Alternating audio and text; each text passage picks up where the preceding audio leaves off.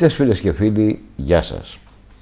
Σήμερα έχουμε την εξαιρετική χαρά και μεγάλη τιμή να φιλοξενούμε στην εκπομπή μας στις συνεντεύξεις έναν Έλληνα, έναν δημιουργό θα τολμούσα να πω, γιατί δημιουργεί με όλα αυτά που κάνει, τον άνθρωπο που και τώρα μετά τα τελευταία γεγονότα και το ΕΣΠΑ το οποίο δόθηκε στην Αφίπολη αναλαμβάνει πλέον και επισήμως όλα τα έργα που έχουν να γίνουν στερεωτικά και για την ανάδειξη ε, του Μνημείου της Αφιπόλας. Τον αρχιτέκτονα, τον Μιχάλη τον Λεφατζή. Κύριε Λεφατζή, καλώς ήρθατε. Γεια σας, καλησπέρα. Ε, θα ήθελα να κάνω μια παρένθεση σε αυτό. Βεβαίως. Ε, στην όλη διαδικασία του ΕΣΠΑ που αναφέρεται στην προστασία, στερέωση, συντήρηση, αποκατάσταση του τύμβου Καστά της Αμφίπολης, υπεύθυνη είναι η Διεύθυνση Αναστήλωσης Αρχαίων Μνημείων του Υπουργείου Πολιτισμού. Ε, όλα τα δεδομένα, ε, όλη η επεξεργασία του φακέλου υποβολής όπως και του έργου του ιδίου ε, θα υλοποιηθεί, θα εφαρμοστεί από τη Διεύθυνση Αναστήλωσης. Α, μάλιστα. Πολύ καλά ε, κάνατε επί και μου ουσίας, το Επί της ουσίας είμαι ένας εκ των επιβλεπόντων αυτού του έργου και μελετητής βέβαια που αναφέρεται στην αρχιτεκτονική μελέτη κυρίως ε, κυρίως επιβλέπουν σε ένα βασικό υποέργο και επί της ουσίας χρησιμοποιώ ε, όλο το υλικό το οποίο έχω και όλη την εμπειρία και γνώση του μνημείου από την ανακάλυψή του μέχρι σήμερα ε, για να μπορέσουμε να αποκαταστήσουμε το μνημείο. Ωραία. Να σας γνωρίσουμε καλύτερα λοιπόν. Ποιος είναι ο Μιχάλης Ολοφατζής. Ποιο είναι το έργο το οποίο κάνετε; Θα ξεκινήσουμε από το τέλος προς την αρχή καλύτερα. Ναι. Ε, η όλη, μου η όλη μου διαδρομή ξεκινάει από το Υπουργείο Πολιτισμού τα τελευταία 17 χρόνια. Το 2000 είμαι στο Υπουργείο Πολιτισμού. Πριν από αυτό ήμουν στο Πανεπιστήμιο Αθηνών. Ε, ε βοηθός σε έναν καθηγητή, θα πούμε ποιον. Ε, η τελευταία στάση αυτής της διαδρομής είναι αυτή που ζούμε τώρα, στην οποία ε, είναι μία από τις λίγες φορές στην ιστορία όπου ένας άνθρωπος ο οποίος έχει πάρει μέρος σε μια ανασκαφική ομάδα που ανακάλυψε ένα μνημείο, μεγάλο μνημείο, ε, συνεχίζει και αναλαμβάνει και την αναστήλωσή του. Ο ίδιος άνθρωπος. Αυτό δεν έχει ξαναγίνει, δηλαδή δεν το βλέπουμε συχνά. Στην Αφίπολη είσαστε από την πρώτη στιγμή να πούμε για ναι. την. Λοιπόν, στην αμέσως προηγούμενη στιγμή, δηλαδή από, από το παρόν στο παρελθόν σιγά-σιγά, δηλαδή ένα κουβάρι να εξετυλίξουμε, ένα νήμα, θα ήθελα να σας πω, σας πω ότι η αιτία που πήγα στην Αμφίπολη το 2011 ήταν μια έρευνα την οποία έκανα ε, στη νότια κλητή της Ακρόπολης, στη Στοά του Ευμένους. Από το 2000, Μέχρι το 2003 δούλεψα στο Ασκληπιείο, το Ασκληπιείο των Αθηνών. Μελέτησα τον περίβολο και το βωμό του Ασκληπιού εκεί και από το 2003 και πέρα μέχρι και το 2012-2013 ε, έκανα αλλεπάλληλες μελέτες για την στερέωση και αποκατάσταση της στοάς του Ευμένους ενός μεγάλου μνημείου το οποίο συνδέει, της Μεγάλης Στοάς που συνδέει το Διονυσιακό Θέατρο με το Ηρώδιο. Ε, και είναι φυσικά στην νότια κλειδί της Ακρόπολης όπως είπα. Αυτή η στοά είναι μία από τις μεγαλύτερες ελληνιστικές στοές της αρχαιότητας, ε, μήκους 165 μέτρων, ε, ε, την έκτισε ο Ευμένης ο δεύτερος της Περγάμου, ο οποίος ερχόμενος ε, ε, στην Αθήνα αποφάσισε να διαμορφώσει ε, μια σειρά από βάθρα του ιδίου και να δωρήσει στην πόλη ένα μεγάλο οικοδομικό έργο στο οποίο το πιο σημαντικό είναι ότι έφερε χιλιάδες κυβικά μαρμάρου, διαμορφωμένου μαρμάρου από την Προκόνησο του Εύξουν Πόντου. Δηλαδή το μάρμαρο ε, της του Άστου Ευμένους είναι μάρμαρο που εισήχθη για πρώτη φορά στην Αθήνα στην αρχαιότητα και θα μπορούσαμε να πούμε ότι στο Άτο Ευμένους είναι το πρώτο προκατασκευασμένο μεγάλο οικοδομικό έργο της αρχαιότητας βάσει των δεδομένων που έχει θέσει ε, μια πλειάδα από μελετητές του μνημείου τα, τα προηγούμενα χρόνια. Με πρώτο βέβαια και σημαντικό το Μανώλη Κορέ. Εγώ έχοντας ως δεδομένο και μάλιστα σε μια ηλικία και σε μια απαρχή της γνώσης μου που αφορούσε την Ακρόπολη το 2003 γιατί ας μην ξεχνάμε ότι η Ακρόπολης, τα, όλα τα αναστηλωτικά έργα στην Ακρόπολη είναι ένα μεγάλο σχολείο. Είναι ό,τι πιο σημαντικό θα μπορούσε να κάνει ένας αρχιτέκτονας που θέλει να ασχοληθεί με την αποκατάσταση μνημείων να εργαστεί στα έργα της Ακρόπολης για να μπορέσει να αποκτήσει την εξειδικευμένη γνώση που χρειάζεται, οργανωμένη, ολοκληρωμένη γνώση. Γιατί, Γιατί εκεί εφαρμόζεται ε, με πολύ μεγάλη ακρίβεια ε, αυτό το οποίο μελετάτε. Ε, είναι λοιπόν ένα πανεπιστήμιο αναστήλωσης οι κλητείες και ο βράχος της Ακρόπολης τα τελευταία 45 χρόνια και ήταν μεγάλη μου τιμή που εκπαιδεύτηκα εκεί σε αυτό με ανθρώπους οι οποίοι εργαζόντουσαν πάρα πολλά χρόνια στο βράχο. Η Στοά του Ευμένους λοιπόν ως έργο μου πήρε χρόνια.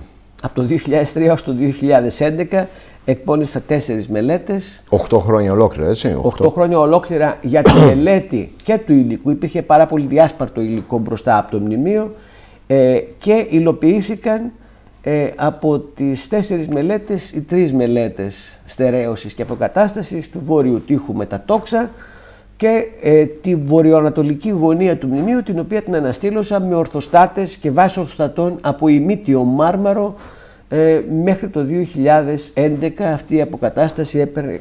Εργαστήκατε λοιπόν 8 ολόκληρα χρόνια. 8 ολόκληρα χρόνια σε μελέτες αποκαταστάσεις και έχω το λόγο μου που το λέω αυτό. Ε, όχι, πριν από αυτό είχα αποκαταστήσει και άλλα μνημεία. Απλώς, ναι. ναι ε, η, η ιστορία μου μιας και το συζητάμε να κάνουμε μια εποπτεία του τι έχω κάνει ως διαδρομή, ξεκινάει από το 1994.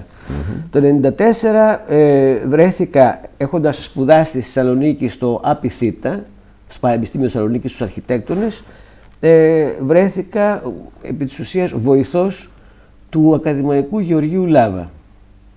Του Τεράστιο όνομα. Ναι, ο, ο Λάβας ήταν καθηγητής μου στο Θεσσαλονίκη ε, και όταν κατέβηκε στην Αθήνα στο Πανεπιστήμιο Αθηνών με πήρε μαζί του και ε, έκανα διατριβή, ξεκίνησα διατριβή το, 2000, το 1994 και την ολοκλήρωσα το 2000 Μάλιστα. στο Πανεπιστήμιο Αθηνών. Εκεί λοιπόν σε συνεργασία με τον Γιώργο Λάβα, ο οποίος το πιο πολύ με βυζαντινά μνημεία και παλαιοχριστιανικά και στους Αγίους Τόπους, βρέθηκα το 1996 για αρκετό διάστημα στην Ιερουσαλήμ. Και ξεκινήσαμε τότε μία προσπάθεια, σε δηλαδή ο Γιώργος Ολάβας ήταν υπεύθυνος και εγώ ήμουνα αυτό που λέμε ο βοηθός του, ο οποίος αναλάμβανε πλήρως να σχεδιάσει, να φέρει εις πέρας πολύ μεγάλο, πολύ μεγάλο πρόγραμμα για την, όχι μόνο για την αποκατάσταση, δηλαδή την τεκμηρίωση του συγκεντρώματος Παναγίου Τάφου στα Ιεροσόλυμα του Ναού της Αναστάσεως που περιλαμβάνει μέσα τον Πανάγιο Τάφο βέβαια και τον Γολγοθά. Δοκιμάσαμε μάλιστα από το 1996 ως και το 2001 να διαμορφώσουμε το πλαίσιο των οικοδομικών φάσεων στο Ναό της Αναστάσεως το οποίο και ολοκληρώθηκε στο 2002 και έγινε προσπάθεια δημοσίευσης.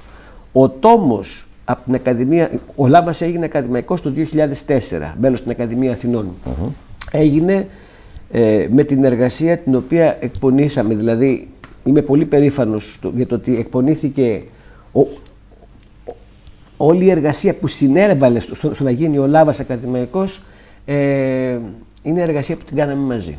Τέλεια. Δούλεψα δηλαδή για τον Γιώργο Λάβα μέχρι το 2006 που πέθανε. Ουσιαστικά 10 χρόνια, ε. Από το 1994 μέχρι το 2006, Παραπάνω, 12, 12 χρόνια. χρόνια. Ήμουνα βοηθός λοιπόν αυτού του μεγάλου και σημαντικού ανθρώπου Βεβαίως. και ήταν ίσως το πρώτο μεγάλο σχολείο στο οποίο βρέθηκα.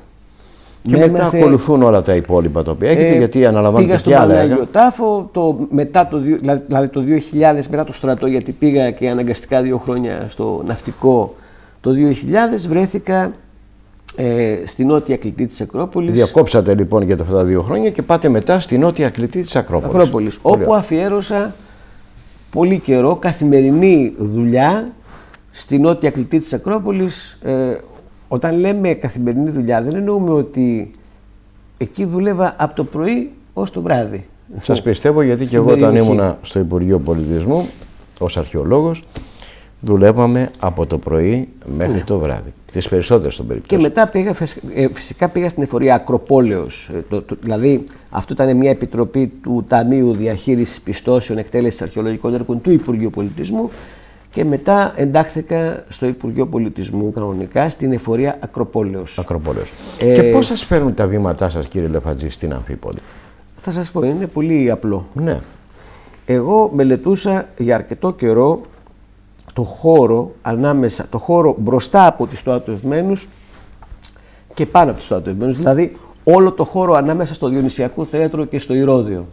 Πήρα μέρος και στις εργασίες στερέωσης υπόθεσης του Ηρωδίου, όπου συνέβαλα σε διάφορα πολύ κρίσιμα τμήματα αυτής της αναστήλωσης, ειδικότερα στις παρόδους, οι πάροδοι που βλέπουμε σήμερα αναστηλωμένες μέσα στο κύλο του ηρωδιου στην ορχήστρα δηλαδή, έχουν αναστηλωθεί με πολύ μεγάλη προσπάθεια στο ίδιο πρόγραμμα στο οποίο ανήκει και η Ιστοά του Ευμένους. Μάλιστα. Έχω λοιπόν εργαστεί για αρκετό καιρό σε έργα τα οποία θεωρώ ότι ήταν ε, ιδιαίτερα απαιτητικά, απαιτούσαν πολύ μεγάλη γνώση. Ευτυχώς είχα ανθρώπους, είχα γύρω μου ανθρώπους οι οποίοι γνώριζαν πάρα πολύ καλά το αντικείμενο, ήταν οι πιο έμπειροι μηχανικοί σε αναστηλώσεις που υπήρχαν και υπάρχουν δηλαδή στην Ελλάδα ε, και βέβαια δεν με άφησε ποτέ αυτό το οποίο ο Λάβας μου, έδωσε, μου μετέδωσε από την αρχή της σταδιοδρομίας μου ήταν ε, ο ιός της έρευνας. Δηλαδή δεν σταμάτησα ποτέ να έρευνα. Ο ιός της έρευνας. Ξεκίνησα την αρρώστια, έρευνα, να το πούμε, αρρώστια ξεκίνησα την έρευνα από τα, από τα παλαιοχριστιανικά και βυζαντινά μνημεία, ναι. αλλά στο τέλος, το 2000, ε, ήρθε μια μεταλλαγή. Από τα βυζαντινά και παλαιοχριστιανικά μνημεία επίστηκα μέχρι το 2002 ότι για τα αρχαία μνημεία, παρότι είχα και πιστοποιημένες ε, σπουδές και διδακτορική διατριβή από το Πανεπιστήμιο Αθηνών και έχοντας γνώση της ιστορίας της ακτιτονικής δεν είχα ε, μία γνώση επί της ουσίας ε, για τα αρχαία μνημεία. Ε, αυτό που λέω μπορεί, να φαντάζει, βαθιά μπορεί, να φαντάζει απλό, μπορεί να φαντάζει απλό. δεν είναι όμως. Ε, Εάν δεν ενταχθείς μέσα στις δραστηριότητες λειτουργίες και λειτουργίες ενός αρχαιολογικού χώρου στα δεδομένα τους, στις ανάγκες του και δεν αρχίσεις να γνωρίζεις βάσει και των συνεργατών και των ανθρώπων που δουλεύουν εκεί τι, ε, τι πραγματικά συμβαίνει και πώς διερευνάται ένα μνημείο αρχαίο ε, νομίζω ότι είναι πάρα πολύ δύσκολο να εξηγηθεί αυτό έτσι στο τηλεοπτικό χρόνο που έχουμε. Και μετά σας απορρόφησε εντελώς. Με απορρόφησε η Ακρόπολη. Κοιτάξτε, παράλληλα με την εργασία μου στο Υπουργείο Πολιτισμού, από το 2000 ξεκίνησα και να διδάσκω. Δηλαδή ήμουνα διευθυντής ενός εργαστηρίου στο, δηλαδή, στο Πανεπιστήμιο Αθηνών, ε, ενός εργαστηρίου για πολιτιστική διαχείριση ως βοηθός του Γιώργου Λάβα. Διδάσκαμε πολιτιστική διαχείριση και κληρονομιά, ε, όπου εκεί έκανα για τέσσερα χρόνια μαθήματα που αφορούσαν την θεωρητική υπόσταση της πολιτιστικής κληρονομιάς και διαχείρισης μνημείων. Μάλιστα. Ε, και φτάνουμε στην Αμφίπολη, εγώ εκεί θα σας πάω. Όχι, το 2004 εκεί θα λοιπόν, σας πάω, ναι. αποφάσισα, εγώ έκανα μια αντίστροφη πορεία. Ναι. Ε, παρά, από το 1995 μέχρι το 2004-2005 ε, ε, έγραψα πάρα πολλά κείμενα θεωρητικά για την αρχιτεκτονική που αφορούσαν την ιστορία αρχιτεκτονικής, την ιστορία αρχιτεκτονικής σκέψης ε, βασικά εντάσσονται στη θεωρία και ιστορία αρχιτεκτονικής. Δηλαδή μπαίνουμε στο βίωμα της αρχιτεκτονικής σκέψης. Ναι, αυτά ήταν η πρώτη προσέγγιση. Ναι. Ε, καλός ή κακός, εργαζόμενος ε, σε μνημεία τα οποία είχαν πολύ μεγάλη σημασία τελικά για μένα, ε, άλλαξα πλήρως αυτή, την, ε, δηλαδή αυτή, τη, αυτή τη διαδρομή και επικεντρώθηκα στο να κατανοήσω συγκεκριμένα μνημεία. Αυτό είναι πάρα πολύ σημαντικό Και αυτό άλλαξε όλη την άποψή αυτό, σας. Αυτό άλλαξε όλη την άποψή μου γιατί άρχισα σιγά σιγά να ανακαλύπτω ότι η ταύτιση και απόδοση αρχιτεκτονικών μελών σε μνημεία αρχαία που συνήθως είναι θεμέλια ήταν για μένα πολύ πιο σημαντική εργασία από την αναστήλωση μνημείων τα οποία ήταν ε, απολύτως ε, διατηρημένα ή εν μέρη σωζόμενα. Και εν χρήση κιόλας. Γιατί χρήση, ναι. μην ξεχνάμε ότι τα βυζαντινά μνημεία είναι εν χρήση, Εν χρήση. τα νεότερα μνημεία εν χρήση. Και επικεντρώθηκα σε αυτό. Επικεντρώθηκα σε αυτό. Μελέτησα λοιπόν, όπως είπα, το Ασκληπιείο, το βωμό του Ασκληπιού, τον περίβολο του Ασκληπιείου, τη στοά του Ευμένους, λίγο το Ηρώδιο και στο τέλος στη βόρεια κλητή, από την νότια πήγα στη βόρεια, μελέτησα ε, σε μια μελέτη ΕΣΠΑ που υπήρχε κιόλας, αλλά επαναπροσδιορίστηκε όλο το ΕΣΠΑ, την κλεψίδρα.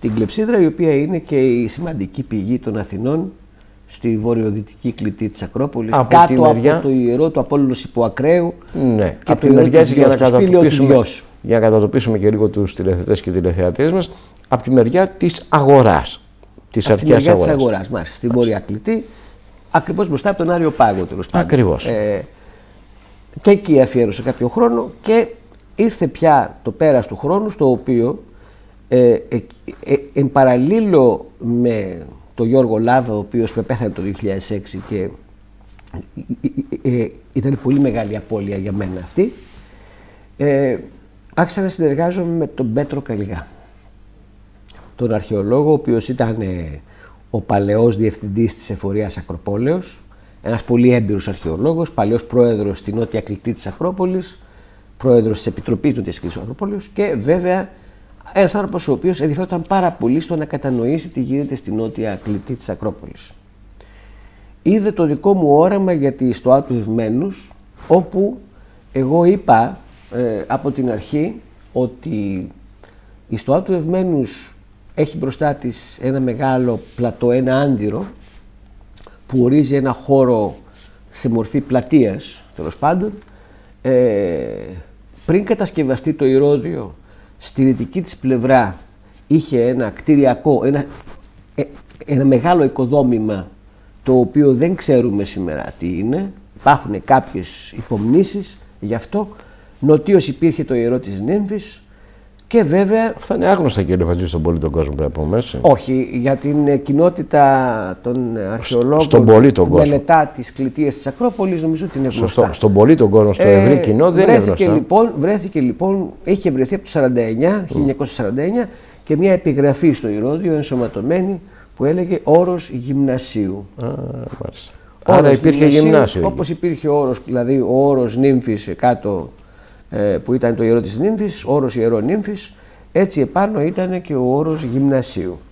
Ε, αποφάσισα λοιπόν να διερευνήσω την υπόθεση εργασίας μέσα από την οποία η στοά του Ευμένους θα μπορούσε να είναι τμήμα αυτού του γυμνασίου το οποίο το αναμόρφωσε, προ- δηλαδή προϋπάρχον γυμνάσιο από τα πρώιμα ελληνιστικά χρόνια το οποίο το αναμόρφωσε ο Ευμένης ε, και Μάλιστα. έφτιαξε τη Και μεγάλη έκανε τη στοά, μεγάλη στοά του Ευμένους. τη μεγάλη στοά και ένα μεγάλο συγκρότημα. Εκεί λοιπόν ε, εάν η στοά αυτή ήταν τμήμα ενός μεγάλου γυμνασίου με μια παλέστρα δίπλα, που αυτό ήταν η υπόθεση εργασίας, θα έπρεπε αυτή η στοά στην πραγματικότητα να είναι ξιστό. Τι σημαίνει ξιστό, Ξιστό σημαίνει ε, ένας κλειστός χώρος άθλησης δρόμου για μικρά παιδιά όμως. Ο οποίος δεν καλύπτει το κανονικό στάδιο της Ολυμπίας σε μήκος, Ναι. καλύπτει ένα μικρότερο στάδιο για τα μικρά παιδιά, κυρίως, δηλαδή κυρίως για τους εφήβους και λιγότερο για τους παιδες. Συνήθως τα γυμνάσια στην αρχαιότητα, τα αρχαία γυμνάσια είχαν ένα ξυστό και μπροστά από αυτόν μια παραδρομίδα. Η παραδρομίδα ήταν, ανε- ε, ε, ε, ε, ήταν ένας ανοιχτός δρόμος που τρέχανε κανονικά όπως ο δρόμος, δηλαδή ένας αγωνιστικός χώρος, sprint που λέμε σήμερα και η στοά, η μακρόστενη στοά του Ευμένους ήταν ένας κλειστός χώρος για τρέξιμο, ο οποίος έθετε και όροφο. Σε αυτό συνέβη... Ήταν διόροφο; Ναι, Μάλιστα. φυσικά. Ήταν διόροφος η στοά. Φυσικά, σε αυτό συνέτειναν διάφορα στοιχεία με βασικότερο το ότι αυτή η στοά δεν είχε καταστήματα μέσα, όπως η στοά του Ατάλου που είναι τμήμα της αγοράς που χτίζει ο ανιψιός του Ευμένη, ε, ο Άταλος, αλλά ήταν, ε, ήταν ένας χώρος ο οποίος είχε πατημένο χώμα, καλά πατημένο χώμα ως δάπεδο, Άρα σε σχέση και με το έλειπαν τα καταστήματα, έλειπαν τα πάντα. Ήταν Άρα ένας σε, κενός ήταν χώρος. απόλυτα σε σχέση με το γυμνάσιο. Έχετε δίκιο. Επομένως, αυτό που σκέφτηκα εγώ είναι το εξής. Η πρώτη προσέγγιση είναι να μελετήσω ένα, δηλαδή μια στοά ξιστό, ένα τμήμα καλό γυμνασίου, το οποίο ε, να συνάδει και σε επίπεδο συγκριτικών δεδομένων να με παραπέμπει σε αττικό γυμνάσιο. Στην Αθήνα ξιστός δεν υπάρχει. Δεν σώζεται. Δηλαδή σε κανένα από τα γυμνάσια τα αρχαία των Αθηνών δεν έχουμε ξιστό στο Α. Ε, ψάχνω να βρω λοιπόν ποιο θα, ήταν, ποιο θα ήταν το καλύτερο δυνατό παράδειγμα γυμνασίου με αττική τυπολογία. Δηλαδή αττικού γυμνασίου εκτός Αθηνών. Σε μια από τις απικίες προφανώς. Των Αθηναίων, ναι. Και εκεί βρέθηκε μπροστά ε, σε αυτό το ερώτημα η, η Πέπη Λαζαρίδου. Η οποία Πέπη Λαζαρίδου ε, ήταν στην εφορία Ακροπόλεως αναπληρώτρια διευθύντρια ε, ακριβώς στο ίδιο γραφείο, δηλαδή ήμουν στο γραφείο της απ' έξω, ήμασταν πολύ κοντά και στη συζήτηση πάνω που κάναμε μου λέει ε, θα ήταν πολύ καλό να έρθεις επάνω να δεις το, το γυμνάσιο της Αμφίπολης ε, και να κάνεις ουσιαστικά μια έρευνα για τον ξυστό του γυμνασίου και προσφέροντάς μου Ναι. και μια σειρά από στοιχεία για να μπορέσω έτσι να αποκτήσω συγκριτικά δεδομένα. Για τι χρονιά μιλάμε κύριε Λεφατζή, Αυτό έγινε το 2010. το 2010. Μάλιστα.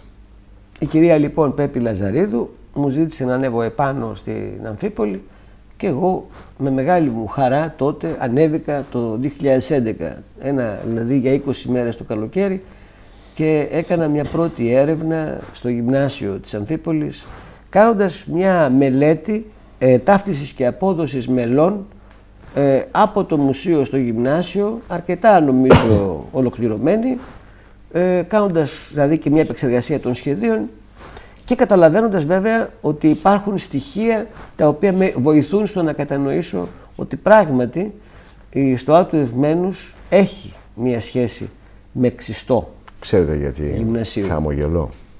Γιατί ο Εφ Μένης σας έστειλε στην Αμφίπολη.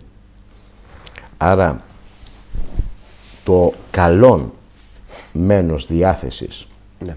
σας έστειλε στην Αμφίπολη. Γιατί αν ευτουευμένος δεν θα πηγαίνατε στην Αμφίπολη, δεν είναι; Ε, ναι, εντάξει, ε, αυτό είναι, Αφήστε μένα να λέω τα ε, δικά μου. αυτό ναι. είναι κάτι που Ναι. εγώ πάντως ε, αισθανόμενος ότι μπορώ να προχωρήσω σε αυτή την, την έρευνα Ναι. ε, άρχισα να ενδιαφέρομαι πάρα πολύ για την Αμφίπολη ως συγκρότημα. Κατάλαβα λοιπόν ότι στην Αμφίπολη ο Λαζαρίδης που είχε σκάψει Ο μεγάλος την αυτός πόλη αρχαιολόγος μας. Ε, είχε αποκαλύψει όλο το τείχος της Αμφίπολης, 7,5 χιλιόμετρα, μαζί και ό,τι μπορούσε ουσιαστικά στην Ακρόπολη, δηλαδή είχε οριοθετήσει την πόλη, την αρχαία πόλη. Ε, μέσα όμως στην πόλη, οι ανασκαφές που είχαν γίνει, συνεχίζουν, δηλαδή, συνεχίζει αυτή η κατάσταση, ε, ήταν εντελώς σημειακές, αποσπασματικές. Επί της ουσίας δεν γνωρίζουμε ακόμα ε, τα γεωμετρικά και πολιοδομικά χαρακτηριστικά του συγκροτήματος της Αμφίπολης, του αστικού συγκροτήματος της Αμφίπολης. Του Αθηναϊκού. Εννοείται. Υπάρχουν φάσεις. Υπάρχουν οικοδομικές φάσεις σοβαρές, πολεοδομική εξέλιξη της Αμφίπολης από αθηναϊκή απικία. Ε, ξέρετε, ο αθηναϊκός χαρακτήρας εκφράζεται μέσα από δηλαδή, οι χαράξεις, οι αρχικές χαράξεις του πρώτη, της πρώτης οίκησης της Αμφίπολης συνεχίζονται και προφανώς αυτό όλο το ζήτημα είναι μια ξεχωριστή διατριβή, όχι μελέτη, Σαφώς. διατριβή. Σαφώς. Ε, επί- α- από τα επιμέρους στοιχεία των ευρημάτων που έχουμε μέσα στον αστικό ιστό που δεν σώζεται αστικός ιστός, σώζονται κάποια αποσπάσματα του αστικού ιστού της Αμφίπολης, μπορεί να κατανοήσει κάποιος κάποια γενικά χαρακτηριστικά και όχι την, την εικόνα, την αστική εικόνα του χώρου που θα ήθελε να έχει για να καταλάβει την πολυδομική ενότητα, την εξέλιξή της κλπ. Βέβαια το γυμνάσιο ξεκίνησε να ανασκάπτεται από το Λαζαρίδη το, ε, τις αρχές της δεκαετίας του 80, αρχές δεκαετίας του 80, με πολύ μεγάλη επιτυχία ε, ο Λαζαρίδης αποκάλυψε την παλέστρα του γυμνασίου και ένα τμήμα του ξυστού και συμπληρωματικά επειδή πέθανε το 85 η κόρη του, η Πέπη Λαζαρίδου, συνέχισε την ανασκαφή μέχρι το 89. Πολύ καλή αρχαιολόγος επίσης. Και έκτοτε από το 89 και πέρα είχε ξεκινήσει, είχε γίνει μια πρώτη εισαγωγική δημοσίευση των ευρημάτων, αλλά προφανώς ήθελε σύνθεση όλου του υλικού έτσι ώστε να εξαχθούν και ε, ό,τι συμπεράσματα μπορεί να κατανοήσει κανείς για το συγκεκριμένο συγκρότημα. Ε, δεν θα ήθελα να αναφερθώ σε προσωπικές μικροπολιτικές που αφορούσαν ε, τις σχέσεις, οι σχέσεις μεταξύ των επιστημόνων έχουν ιδιαίτερα χαρακτηριστικά. Αυτό που μας αφορά κυρίως είναι ότι κατά τη διάρκεια αυτής της διερεύνησης ε, και έχοντας δει ότι υπάρχουν στοιχεία τα οποία θα μπορούσαν να παρουσιαστούν και για το γυμνάσιο της Αμφίπολης, τα οποία τα είχα βρει σε συνεργασία με την κυρία Λαζαρίδη. Η κυρία Περιστέρη ε, μου ζήτησε να συνεργαστούμε ως αρχιτέκτονας εγώ και ως αρχαιολόγος η ιδέα και προϊσταμένη της εφορίας Σερών εκείνη την εποχή να συνεργαστούμε στην ε, κατανόηση και γενικότερα στην νέα ανασκαφική προσπάθεια που θα αφορούσε τον τύμβο Καστά. Α, μάλιστα. Άρα φτάνουμε τώρα στον τύμβο Καστά. Ο Θέλω απλά να καταλάβετε ότι αυτό είναι μια διαδρομή έρευνα λοιπόν. Ακριβώς, ακριβώς. Με σταθμούς συγκεκριμένους. Δεν έχει να κάνει. Ε, πρέπει να σας πω ναι. ότι η κυρία Περιστέρη ε, ήταν, ε, ε, ε ήταν προϊσταμένη της εφορίας χρόνια πριν, από το 2011. Όπως επίσης και η κυρία Λαζαρίδη και η κυρία Περιστέρη έχουν εργαστεί για πάρα πολλά χρόνια στην περιοχή. Βεβαίως. Από το 78, 79, δηλαδή από το 78 ξέρω η κυρία Περιστέρη έχει εργαστεί στην περιοχή για πάρα πολλά χρόνια mm όντως και ε, στο συγκεκριμένο ταφικό συγκρότημα, στο συγκεκριμένο δηλαδή συγκρότημα του Τύμβου, του τύμβου ναι. η, η αιμονή όλων ήταν να ξεκαθαρίσουν αυτό που συμβαίνει στην κορυφή. Ωραία. Η ερώτηση που σας κάνω είναι εξής. Πώς φτάνουμε από το γυμνάσιο της Αμφιπόλεως και όλα τα άλλα, όλες τις άλλες έρευνες ανασκαφικές και λοιπές επιστημονικές διατριβές, φεύγουμε δηλαδή και πάμε κάποια χιλιόμετρα, αν δεν κάνω λάθος στον Τίμο Καστά. Ναι, είναι 2,5 χιλιόμετρα μακριά. Είναι 2,5 χιλιόμετρα. Δεν είναι πολύ μακριά. Τι σας οδήγησε, τι οδήγησε την ομάδα αυτή την ασκαφική και αρχιτεκτονική. Όχι, είναι τα, ποια ασκαφική ομάδα; Εκείνη την εποχή αυτό που υπήρχε ναι. ήταν κυρία Περιστέρη. Α, μάλιστα, δεν υπάρχει τίποτα. Ε, εκείνη την εποχή αυτό που υπάρχει είναι η απόφαση της κυρίας Περιστέρη ως διευθύντριας της εφορίας, προϊσταμένης της εφορίας, ε, να γίνει έρευνα στο Να συνεχίσει την έρευνα γιατί ο τύμβος Καστά Αυτό ανασκάπτεται από το 1964. Από το 1964. Μάλιστα.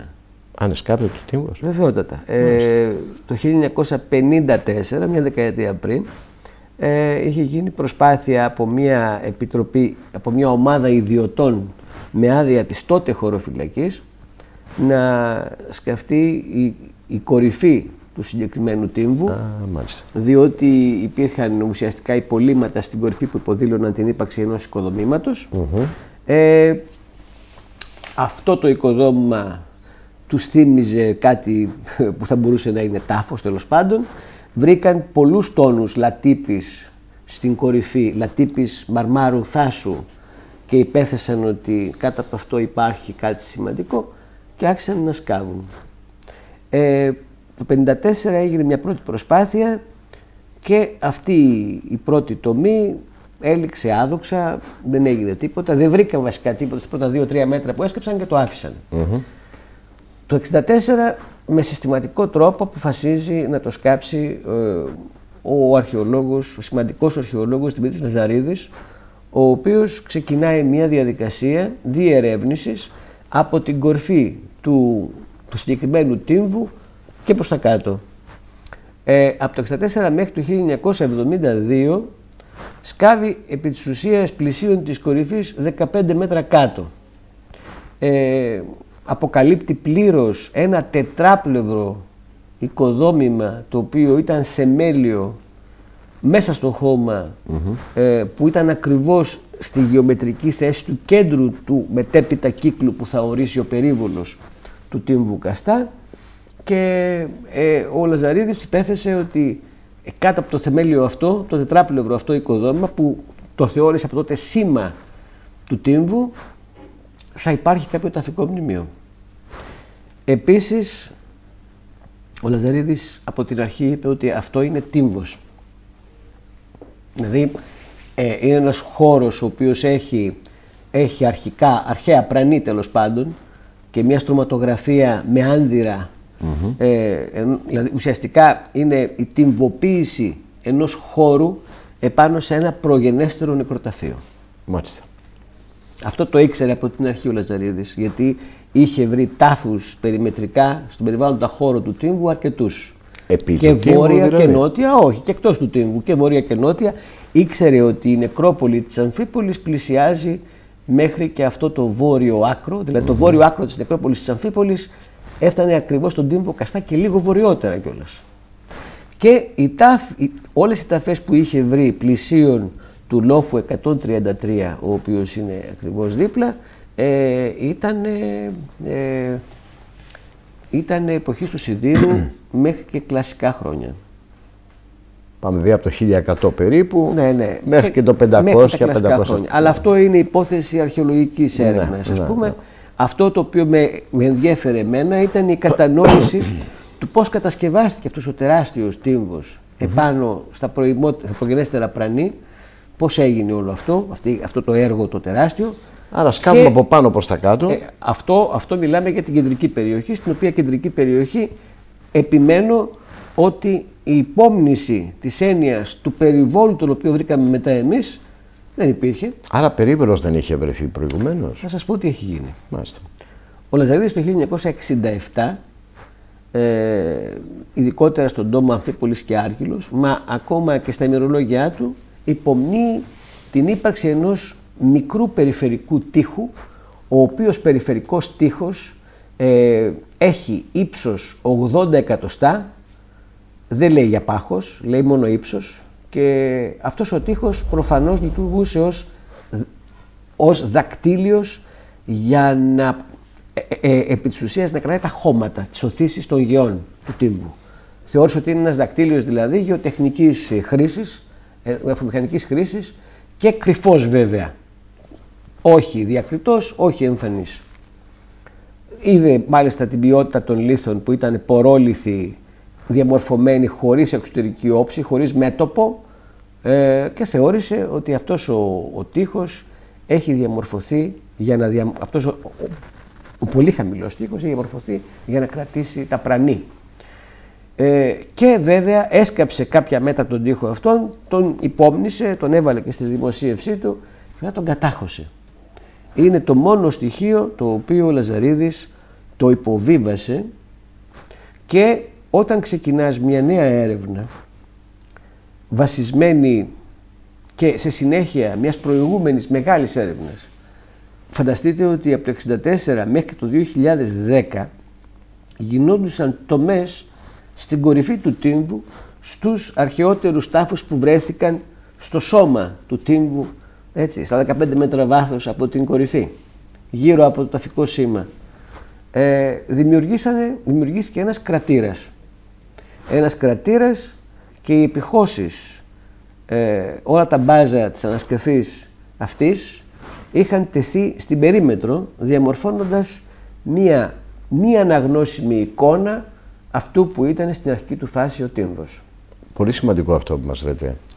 Ε, Πάρα πολύ σημαντικό. Όταν λοιπόν προχωράς μια έρευνα, αυτό που μετράει είναι να μπορέσεις με τα δεδομένα της παλαιότερης έρευνας που πάντα ένας επιστήμονας βασισμένος στη μέθοδο, θα πρέπει, στη μέθοδο την επιστημονική θα πρέπει ε, να πάρει την άκρη του νήματος της προηγούμενης έρευνας ε, και να την χρησιμοποιήσει έτσι ώστε να προχωρήσει μπροστά. Αυτό είναι και βασικά το νόημα της επιστήμης.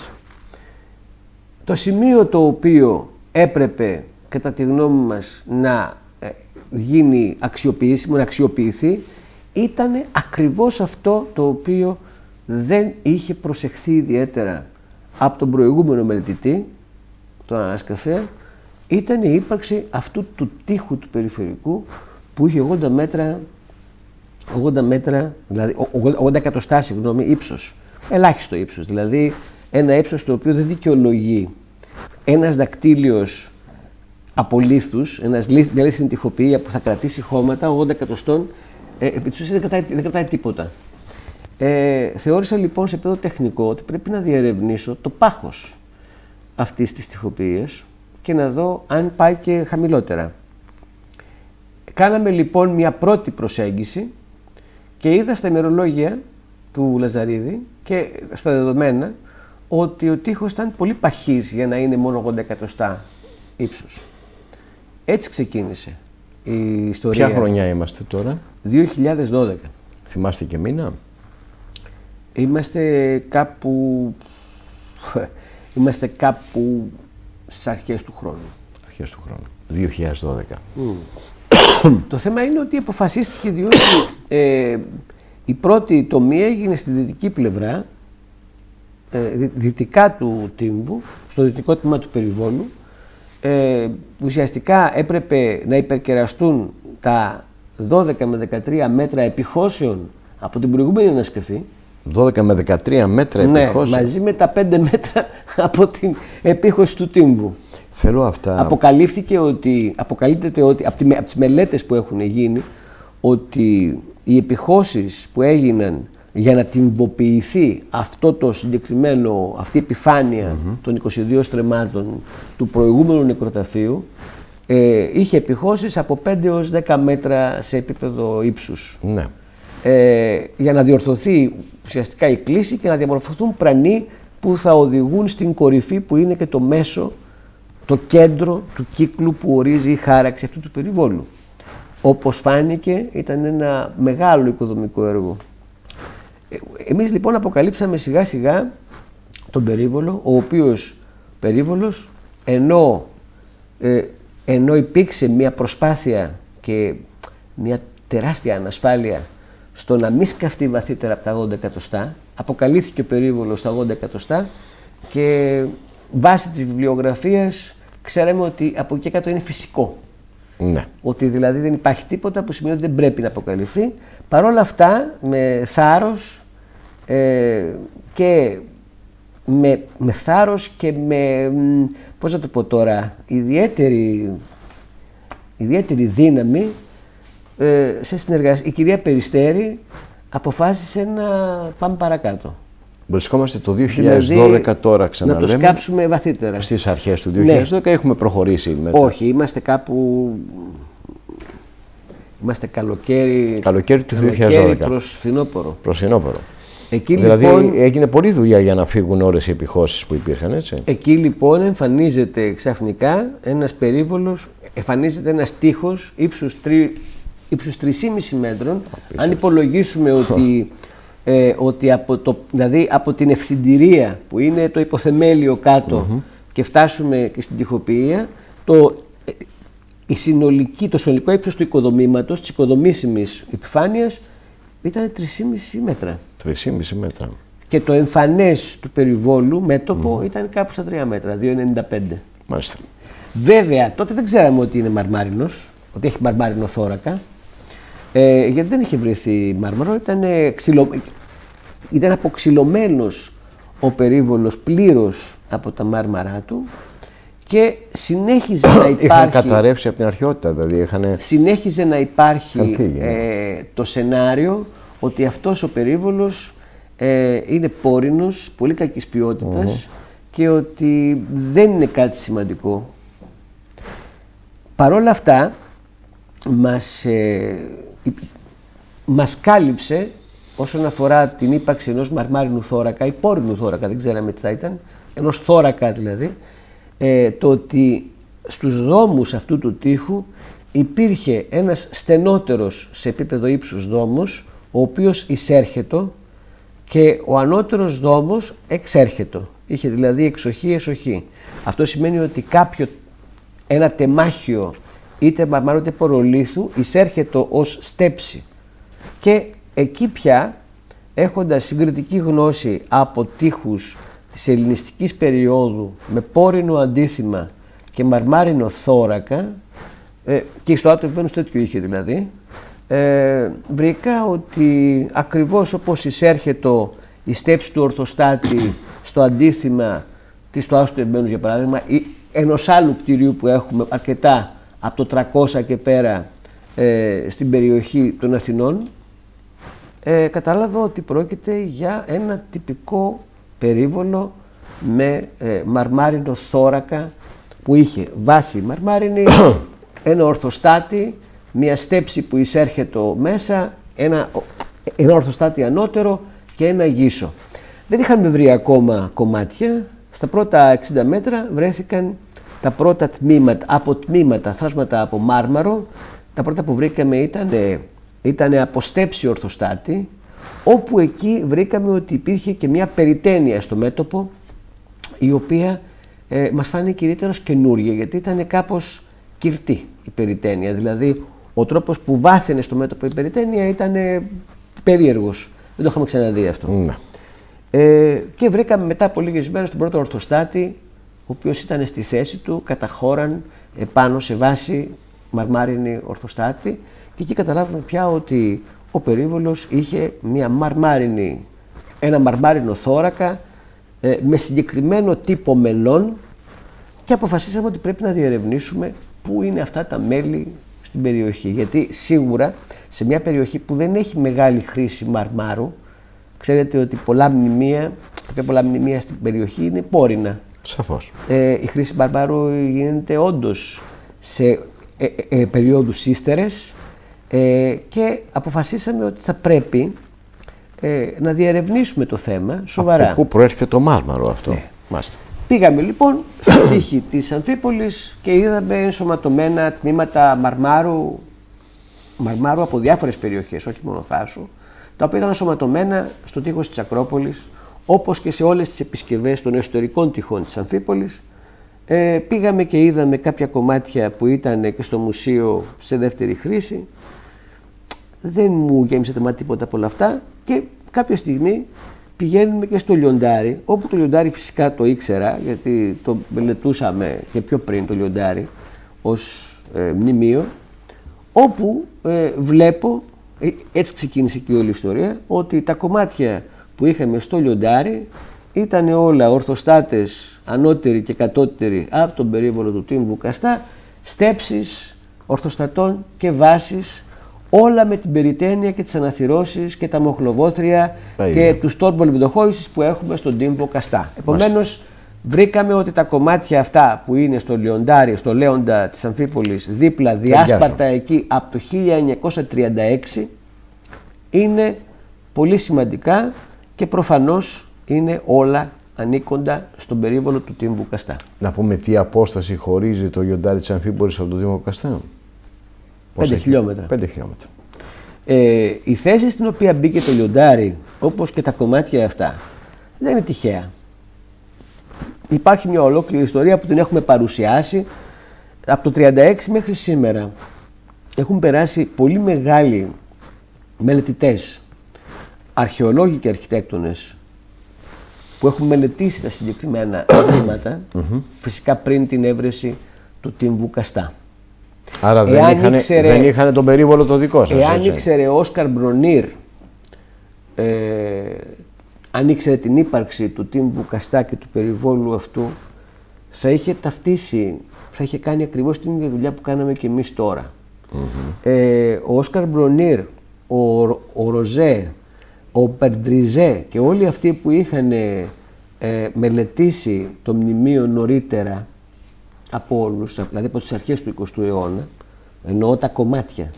Τα κομμάτια του, του, δηλαδή του λέοντος και τα κομμάτια του περιβόλου διάσπαρτα, χωρίς, χωρίς καμία έτσι, ίχνος προέλευσης, μνημείου προέλευσης, δεν ξέρω από πού είναι, ε, υπέθεσαν ότι τα κομμάτια που βρήκαν του λέοντος είχαν αναθυρώσει, είχαν διαμόρφωση και επεξεργασία μαρμάρου σε τμήματα τα οποία θύμιζαν πάρα πολύ την επεξεργασία των, ε, των ορθοστατών και του, δηλαδή όλων των τεμαχίων μαρμάρου του περιβόλου. Υπέθεσαν λοιπόν ότι ο Λέον της Αμφίπολης, τα κομμάτια που είχαν, τα 11 κομμάτια του Λέοντος που διέθεταν με τις αναθυρώσεις τους και με όλα τα εσωτερικά χαρακτηριστικά που σήμερα δεν φαίνονται, ε, τα έχουμε σε σχέδια μόνο και σε φωτογραφίες, όπως και τα χαρακτηριστικά, τα οικοδομικά των τεμαχίων μαρμάρου του περιβόλου, ε, έχουν πάρα πολλές ομοιότητες και είπαν ότι μάλλον το, το πιο πιθανό είναι τα κομμάτια αυτά να προέρχονται από το βάθρο του Λέοντος. Ε, υπάρχει μια ιστορία που μας λέει ότι τα κομμάτια τοποθετήθηκαν σε φορτηγίδες, ε, 2.000 κομμάτια, μαζί με τα 11 κομμάτια του λεοντος για να φύγουν στο εξωτερικό. Ε, αυτές οι φορτηγίδες βούλιαξαν... Γιατί εποχή λέτε; 1916, με ακρίβεια. Ε, αυτές οι φορτηγίδες βούλιαξαν ακριβώς μπροστά εκεί που έγινε η εκτροπή του Στριμώνα, στη στροφή δηλαδή βουλιάξανε. Ναι, ναι. Ήταν και το σημείο θέασης που είχαν από το, δηλαδή το πυροβολικό των Βούλγαρων το έκανε Ε, και βούλιαξαν όλες οι φορτηγίδες ακριβώς προς εκείνο το σημείο. Όταν ήρθε η Mon Coolen, η, η αγγλική εταιρεία, για να κάνει ε, την εκτροπή της, ε, της εκβολής του Στριμώνα, την αποξήρανση της λίμνης Κερκινήτιδος και την κατασκευή της νέας λίμνης Κερκίνης 60 χιλιόμετρα βορειότερα στη θέση του σημερινού λιθότοπου ε, αποφάσισε, ε, γιατί ήξερε ότι τα κομμάτια είναι εκεί στον πυθμένα και τα έβγαλαν έξω. Τα έβγαλαν στην επιφάνεια και Βρέ, βρέθηκε επίσης ένα θεμέλιο ε, τετράπλευρο το οποίο είναι 9, δηλαδή είναι περίπου 10 μέτρα επί 10 είναι 9,90 επί 9,90 το οποίο όμως δεν είχε μαρμαριανό δομή. Ήταν ένα υποθεμέλιο ε, από ένα τετράπλευρο οικοδόμημα το οποίο το πιθανότερο θα είναι να ήταν πύργος. Ε, ένας αρχαίος πύργος, έτσι. Που υπήρχαν στην περιοχή ναι. και το ξέρουμε. Τα κομμάτια τα οποία ετέθησαν στην ανοδομή αυτού του μνημείου, τα μαρμάρινα, για να υποτεθεί ότι είναι κρυπίδα του βάθρου του Λέοντος είναι από άλλο μνημείο, σώζουν διπλή ταινία κάτω, επομένως είναι από τη δεύτερη κρυπίδα έως τρίτη κρυπίδα ενός άλλου με άλλης υπόβασης μαρμάρινου και αυτά τα κομμάτια ανήκουν στο πραγματικό βάθρο του Λέοντος και όχι που ήταν, στο συγκεκριμένο που ήταν επί του τύμβου όπως έχετε ε, γράψει, αναλύσει και ισχυρίζεστε μέχρι Το συγκεκριμένο, η συγκεκριμένη οικοδο, δηλαδή το οικοδόμημα, το τετράπλευρο, το θεμέλιο το οποίο έχουμε εκεί που είναι σήμερα ο Λέοντας, ε, ήταν ένα οικοδόμημα με άλλη Δεν θα μπορούσε να είναι βάθρο εκεί, γιατί όταν κάνεις ένα βάθρο για ταφικό μνημείο και βάζεις πάνω ένα γλυπτό 5 μέτρων ύψους, θα πρέπει να έχεις από κάτω σίγουρα ένα άνδυρο και ένα περίβολο. Θα πρέπει να υπάρχει οριοθέτηση με σαφές άνδυρο το οποίο έχει περιχαρακωθεί και ουσιαστικά οριοθετηθεί ναι. από περίβολο. Βρέθηκε αυτό; Όχι, δεν υπάρχει κάτι τέτοιο εκεί. Δεν Μα εκεί είμαστε παρόχθια. Τι να βρεθεί; Όχι, όχι, μιλάω για τον τύμβο Καστά αυτή τη στιγμή. Δεν μιλάω για το σημείο που βρίσκεται. Στο σημείο που βρίσκεται σήμερα δεν υπήρχε άνδυρο ούτε περίβολος. Για, να, για να μπορέσει να οριοθετήσει το συγκεκριμένο ταφικό μνημείο. Ακριβώς. Ε, στον τύμβο Καστά υπήρχε στην κορφή. Στον τύμβο Καστά ήταν στην κορφή. Και θα πω γιατί ήταν στην κορφή, γιατί η, χιλιά, Α, η ναι. τόνη λατρύπη, οι τόνοι λατύπης θασίτικου μαρμάρου που βρέθηκαν στην κορυφή του τύμβου Καστά προέρχονται από ένα γλυπτό το οποίο διαμορφώθηκε επί τόπου. Δηλαδή ξεχοντρίστηκε και, διαμορφώ... και δηλαδή έγινε επεξεργασία του στην θέση στην οποία Λατύπη εννοούμε τα υπολείμματα της κατεργασίας. Λατύπη είναι υπολείμματα κατεργασίας. Αυτή, λατή, αυτή η τόνη λατύπης ναι, ναι. δεν μπορεί να είναι από τις υποκείμενες τρώσεις εκεί που είναι ο περίβολος. Είμαστε 25 μέτρα χαμηλότερα. Ε, Άρα κάποιο έργο δουλεύτηκε πάνω στην κορφή; Όχι βασικά κάποιο έργο, δουλεύτηκε ένα οικοδόμημα, ένα οικοδόμημα. το οποίο όπως αποδεικνύεται από τα γεωτεχνικά δεδομένα και από τα γεωλογικά δεδομένα σε, σε επίπεδο καταπώνησης του θεμελίου που έχουμε στην κορυφή, το θεμέλιο της κορυφής αυτό έχει δεχτεί φορτίο άνω των 3.000 κυβικών μέτρων, το οποίο φορτίο έχει υπολογιστεί. Ε, ο Σπύρος Παυλίδης ο αρχαιογεωλόγος ε, και, και, και, καθηγητής στο ΑΠΙΘΙΤΑ, πολύ σημαντικός και έμπειρος στο αντικείμενο, έκανε μια σαφή διάγνωση στρωματογραφίας, είδε την καταπώνηση του υλικού, ο Δημήτρης Εγγλέζος, ειδικός γεωτεχνικός, μηχανικός... Να αναφέρουμε τα ονόματα ε, όλων των ανθρώπων. Έκανε, έκανε μια ε, πολύ καλή προσέγγιση μελτητική, έκανε μοντέλο στο οποίο έλαβε μέσα όλα τα στοιχεία τα οποία είχαμε, τα γεωμετρικά και τα χωρικά, τα, του χώρου τα στοιχεία ε, και έκανε τους υπολογισμούς όπου είδε ότι το σημείο της στράφσης που έχουμε στο θεμέλιο αυτό είναι, οφείλεται ακριβώς στο φορτίο το οποίο επάνω ασκούσε τεράστιο φορτίο αυτή η κατασκευή η υπερκείμενη. Και βέβαια αυτή η κατασκευή μπορεί να μην την έχουμε ως, κατασκευή, ως οικοδόμημα, το υπερκείμενο οικοδόμημα, αλλά οι λατύποι που έχουμε κάτω, ήταν πάρα πολλά, πάρα πολύ το υλικό της λατύπης, ε, αυτό ήταν και το υλικό που εξώθησε και το Λαζαρίδι να σκάψει όλο και βαθυτερα Είναι σαφές ότι προέρχεται από την καταχώραν, από την in situ που λένε οι αρχαιολόγοι, επεξεργασία του συγκεκριμένου οικοδομήματος. Έτσι. Ε, είναι απίστευτα αυτά επομένως, που μας λέτε. επειδή ο Ροζέ και ο Φωνήρ, ναι. όλοι οι μελετητές πίστευαν ότι τα, η, λύθη του περιβόλου ε, είναι προερχόμενη από το βάθρο του λέοντος, διότι έχουν ίδια επεξεργασία. Επειδή ακριβώς έχει βρεθεί το θεμέλιο στο σήμα της κορυφής, το σήμα της κορυφής στον τύμβο Καστά και υπάρχουν και άλλα στοιχεία που μας δίνουν την έννοια ότι σε αυτόν ακριβώς το χώρο, στην κορυφή του τύμβου και γεωμετρικά στοιχεία και αρχιτεκτονικά ότι ακριβώς εκεί ήταν ένα μεγάλο βάθρο και πάνω σε αυτό ε, το του Λέοντος. Υπάρχει μέσα στο γλυπτό ξεχοντρισμένο, ε, ξεχοντρισμένος ένας χώρος για έμβολο. Δηλαδή, ε, επειδή ακριβώς το γλυπτό είναι αρθρωτό με τμήματα τα οποία είναι συγκολλημένα εν ξηρό, όταν λέω εν ξηρό σημαίνει με συνδέσμους μολυβδοχώησης, εσωτερικούς συνδέσμους, έτσι ώστε να μπορεί να ξεχοντριστεί εξωτερικά, ε, μέσα υπήρχε ένας γόμφος, ο οποίος γόμφος αυτός ε, ήταν για την, για την αποφυγή της κάμψης αυτού του μακρόστενου ψηλού Λό, οικοδομήματος. Λόγω του, του βάρους, λέτε. Λόγω του βάρους του. Και ήταν και πολύ ψηλά. Και μην ξεχνάμε ότι όταν σε τεχνητή επίχωση κάτω. Έτσι. Η τεχνητή επίχωση, η ύπαρξη ενός κυβωτίου χώματος, το οποίο ασκούσε συγκεκριμένες οθήσεις και το οποίο περιόριζε κάπως τις κάμψεις αυτής της κατασκευής της υπερκείμενης, όπως και η ύπαρξη στο εσωτερικό των κομματιών που έχουμε του λιονταριού, αυτού του γόμφου, mm-hmm. μας υποδηλώνει ότι ήταν γομφωμένο από μέσα το λιοντάρι για να, για να μπορεί να αντέχει στη στρέψη και στην κάμψη του κορμού του. Πολύ σημαντικά. Ε, πολύ αυτό, σημαντικά. Και, και βέβαια Λεφαζή. ξεχοντρισμένο για να είναι και πιο ελαφρύ. Κύριε Λεφαζή, πρέπει να πω εδώ ότι αυτά που λέτε με τόσο σωστή διάρθρωση λόγου, άρθρωση λόγου, με τόσο, σωστά, με τόσο σωστή επιχειρηματολογία. Φίλοι και φίλες, καταλαβαίνετε τώρα γιατί η επιστήμη δεν είναι μια απλή υπόθεση. Δεν βγάζουμε μια θεωρία, εδώ ακούμε τον κύριο Λεφατζή, επί ένα πολύ μεγάλο χρονικό διάστημα, με εκπληκτικές λεπτομέρειες που είναι απαραίτητες όμως για να καταλάβουμε πώς φτάνουμε στα συμπεράσματα, να μας αναλύει και δεν έχουμε φτάσει ακόμα καν στην έβρεση της εισόδου του τάφου. Όχι, είμαστε κάπου στο 2012. Είμαστε στο 2012. Για να, καταλάβουμε, 2012 είμαστε. Ναι, για να καταλάβουμε ότι δεν είναι εύκολο πράγμα. Δεν είναι εύκολο πράγμα να αρθρώνεις επιστημονικό λόγο και να αποδεικνύεις. Διότι οι θεωρίες οι διάφορες μπορούν να λέγονται και να ακούγονται πολλές. Ο καθένας έχει δικαίωμα να λέει ό,τι θέλει.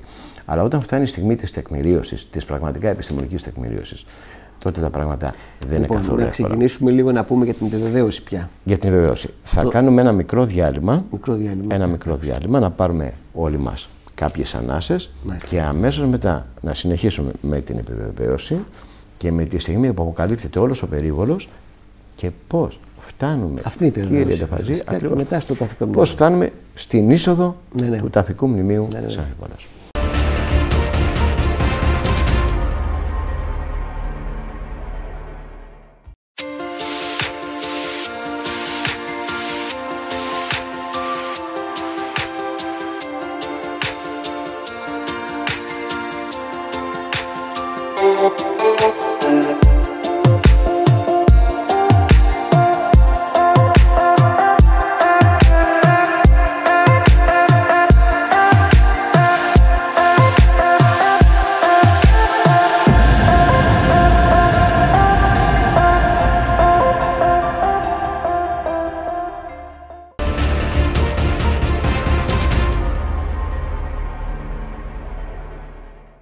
Επιστρέψαμε φίλους και φίλοι.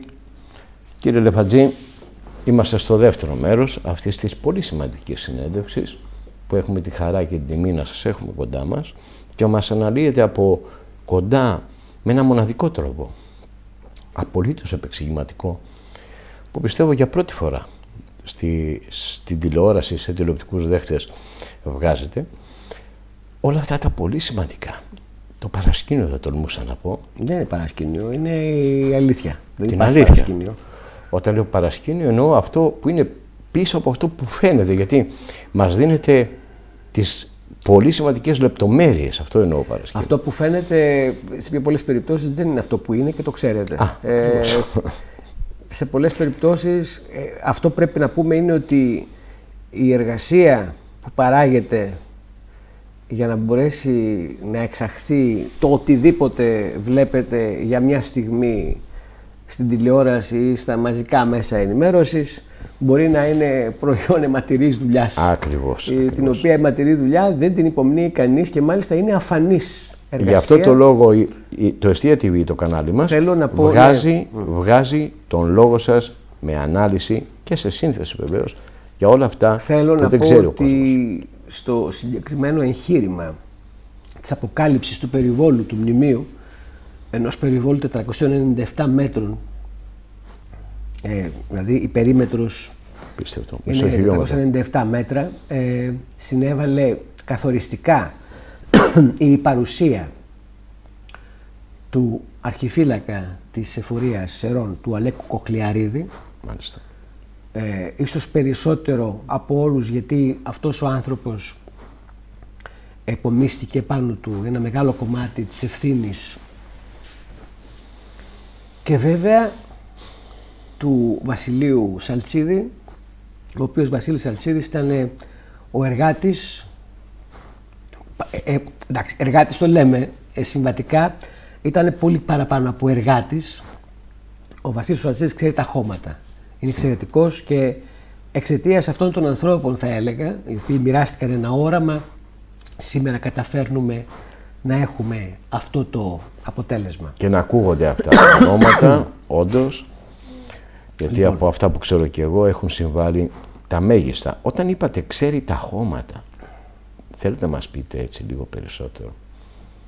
Έχει δουλέψει πάρα πολλά χρόνια σε ανασκαφές, είναι εργάτης ανασκαφής από τους καλύτερους που έχω δει ποτέ στη ζωή μου και έχω δουλέψει σε αρκετά τέτοια εγχειρήματα, αρχαιολογικά δηλαδή, αρχαιολογικά έργα. Ο κύριος Βασίλης Αλτσίδης ε, είναι από τους ανθρώπους που πραγματικά σέβομαι όσον αφορά ε, την, την ανάγνωση της στρωματογραφίας και το τι ακριβώς περιλαμβάνει το χώμα το οποίο εκείνη την ώρα ε, κάνουμε ουσιαστικά, το ανοίγουμε.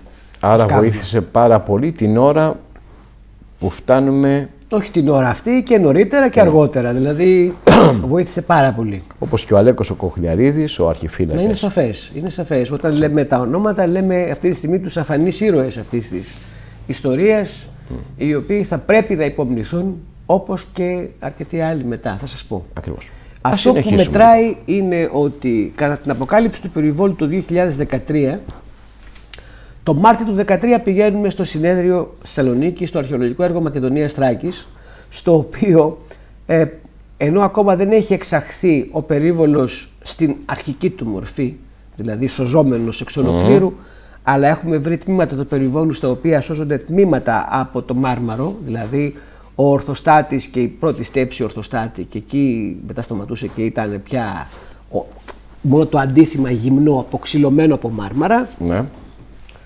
είχαμε δοκιμάσει βάσει της ταύτισης που είπα πριν από λίγο, ε, όπου είχαν βρεθεί τα κομμάτια των γύσων, των Ιωνικών και των Ορθοστατών στο λιοντάρι της Αμφίπολης, τα διάσπαρτα κομμάτια αυτά, είχαμε κάνει μια αναπαράσταση του περιβόλου όπως θα μπορούσε να είναι στην αρχή του μορφή. 2013. Ε, φυσικά, έχοντας Μάρτιος του 2013, Μάρτιος του 2013, Μάρτιος του 2013. έχοντας βασιστεί βέβαια και στα βιβλιογραφικά δεδομένα, μην Συγγνώμη. ξεχνάμε, μην ξεχνάμε ότι ο, ο Στέφανος Μίλλερ το 1971 είχε δει τα κομμάτια, είχε κάνει μια πρώτη προσέγγιση μαζί με τη γυναίκα του τότε, τη Στέλλα Μίλλερ και είχε κάνει μια πρώτη τεκμηρίωση, πολύ σημαντική, χωρίς όμως να μπορεί να καταλάβει ότι ο, κυ- αυτός ο περίβολος, αυτός ο τείχος τον οποίο περιέγραφε και ο ίδιος είναι κυρτός, έχει κυκλική χάραξη δηλαδή, ε, δεν μπορούσε να το καταλάβεις γιατί ακριβώς δεν είχε μετρήσει με ακρίβεια τα τεμάχια του μαρμάρου, δεν ήταν και πολύ εύκολο τότε βέβαια.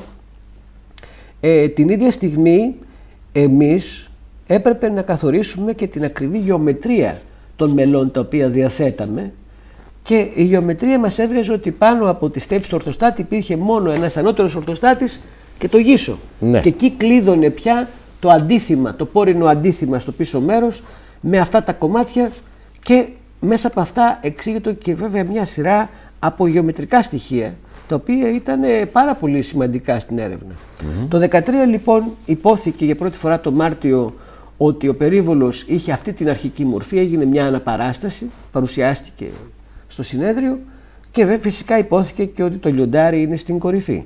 Μάρτιο του 2013. Μάλιστα. Δεν έχει ακόμα ε, εκραγεί η δημοσιότητα για το θέμα. Μάλιστα.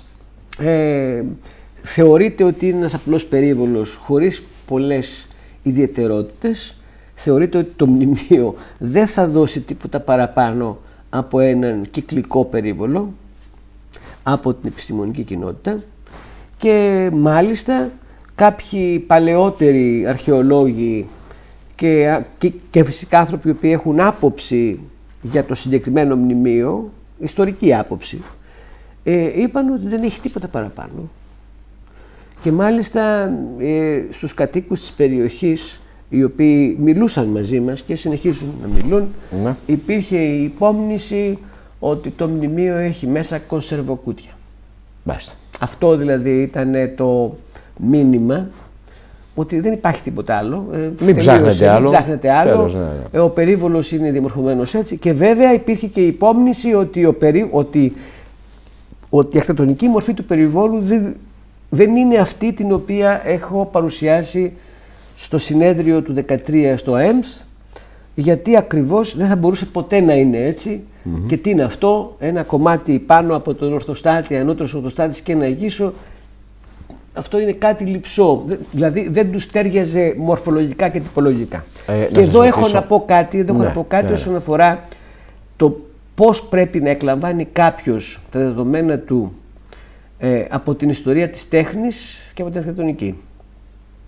Ένας ιστορικός της τέχνης, δηλαδή ένας αρχαιολόγος ο οποίος κάνει συγκριτική μελέτη γλυπτών και αρχιτεκτονημάτων με μια εποπτεία εκ του μακρόθεν, μην έχοντας ποτέ δουλέψει στο πεδίο για την αναστήλωση συγκεκριμένων μνημείων κομμάτι-κομμάτι, δηλαδή η διαφορά ανάμεσα σε έναν άνθρωπο της βιβλιοθήκης και σε κάποιον ο οποίος εργάζεται στο πεδίο είναι τεράστια.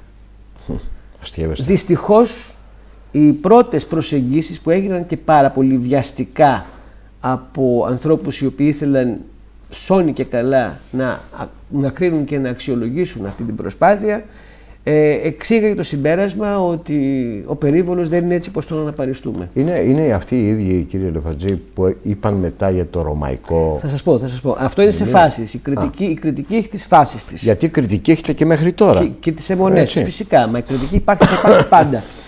Α, ε, είναι, αυτό που, είναι αυτό που με έναν τρόπο μεσοβέζικα θα έλεγα και ενδόμηχα ηρωνικό ε, θα μπορούσα να ονομάσω ζήμωση εισαγωγικά. Είναι μια μορφή ζήμωσης. Ε, αυτό φυσικά για να το καταλάβει κάποιος θα πρέπει να έχει ασχοληθεί με την επιστημονική έρευνα. Ε, δηλαδή αναφέρεται σε, σε ένα κλειστό κύκλο ερευνητών και επιστημόνων που ασχολούνται πολύ εξειδικευμένα με το θέμα. Ε, από την άλλη μεριά υπάρχει η λεγόμενη λαϊκή αρχαιολογία. Και για τη λαϊκή αρχαιολογία θα πούμε ίσως αν θέλετε μετά. Είναι άλλο όμως το αντικείμενο της λαϊκής αρχαιολογίας, της λεγόμενης, ε, και άλλο το αντικείμενο της πραγματικής ε, καταχώραν έρευνας που στόχο της, έχει, στόχο της έχει να υλοποιήσει δεδομένα που θα μπορέσουν να καταστούν ε, όσο γίνεται πιο χρήσιμα και αξιοποιήσιμα για τη μετέπειτα μελέτη, ερμηνεία και αποκατάσταση του μνημείου. Ξέρετε κύριε Λεφατζή πως έχω ασχοληθεί εκτενώς και επιμελώς με το κομμάτι αμφίπολη επί χρόνια. Έτσι. Ξέρετε επίσης τις απόψεις μου, τις έρευνές μου και όλα αυτά που έχουν βγει. Ναι. Έχω δεχθεί κι εγώ μια μεγάλη κριτική. Όπως και εσείς, όπως και οι υπόλοιποι οι οποίοι εργάζονται επί του θέματος. Ναι. Ξέρετε επίσης ότι πρώτος στην Ελλάδα ανέφερα ότι μέσα στο μνημείο είναι ε, με τις πιο πολλές πιθανότητες α, η Ολυμπιάς. Και γι' αυτό λιδωρήθηκα. Βέβαια προχωρώντας τα πράγματα. Φτάσαμε σε ανακάλυψη ενός σκελετού 62 ετών μιας γυναικός που είχε, αν δεν κάνω λάθος, θερματισμένη λεκάνη. Κάνω λάθος; Ε, όχι, δεν κάνετε λάθος.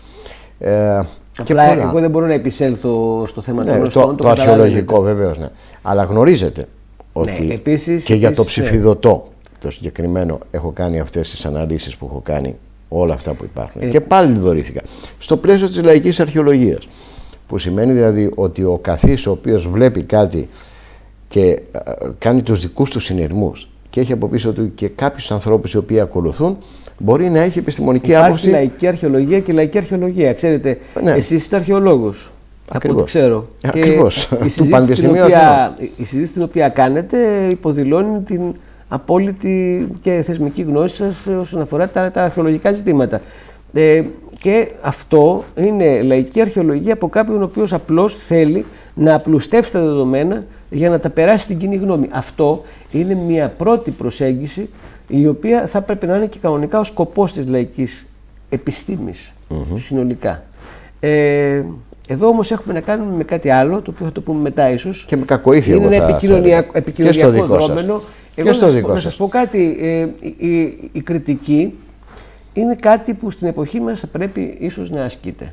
Δεν το συζητάμε. Μα βεβαίως και πρέπει να υπάρχει ε, κριτική, αλλά να υπάρχει κριτική χωρίς όμως κακοήθεια, χωρίς ε, αγνωσία, διότι όταν δεν, δεν έχεις γνώση. Ναι, δεν το ελέγχουμε αυτό, θα σας πω γιατί. Βεβαίως δεν πρέπει να το ελέγξεις, ε, αλλά πρέπει όμως να το καυστηριάσουμε. Αυτός ο οποίο ε, θα μπορούσαμε να πούμε ότι παράγει κάποιο έργο, το παράγει και το, το παρουσιάζει στην κοινωνία για να κάνει καλό στην κοινωνία.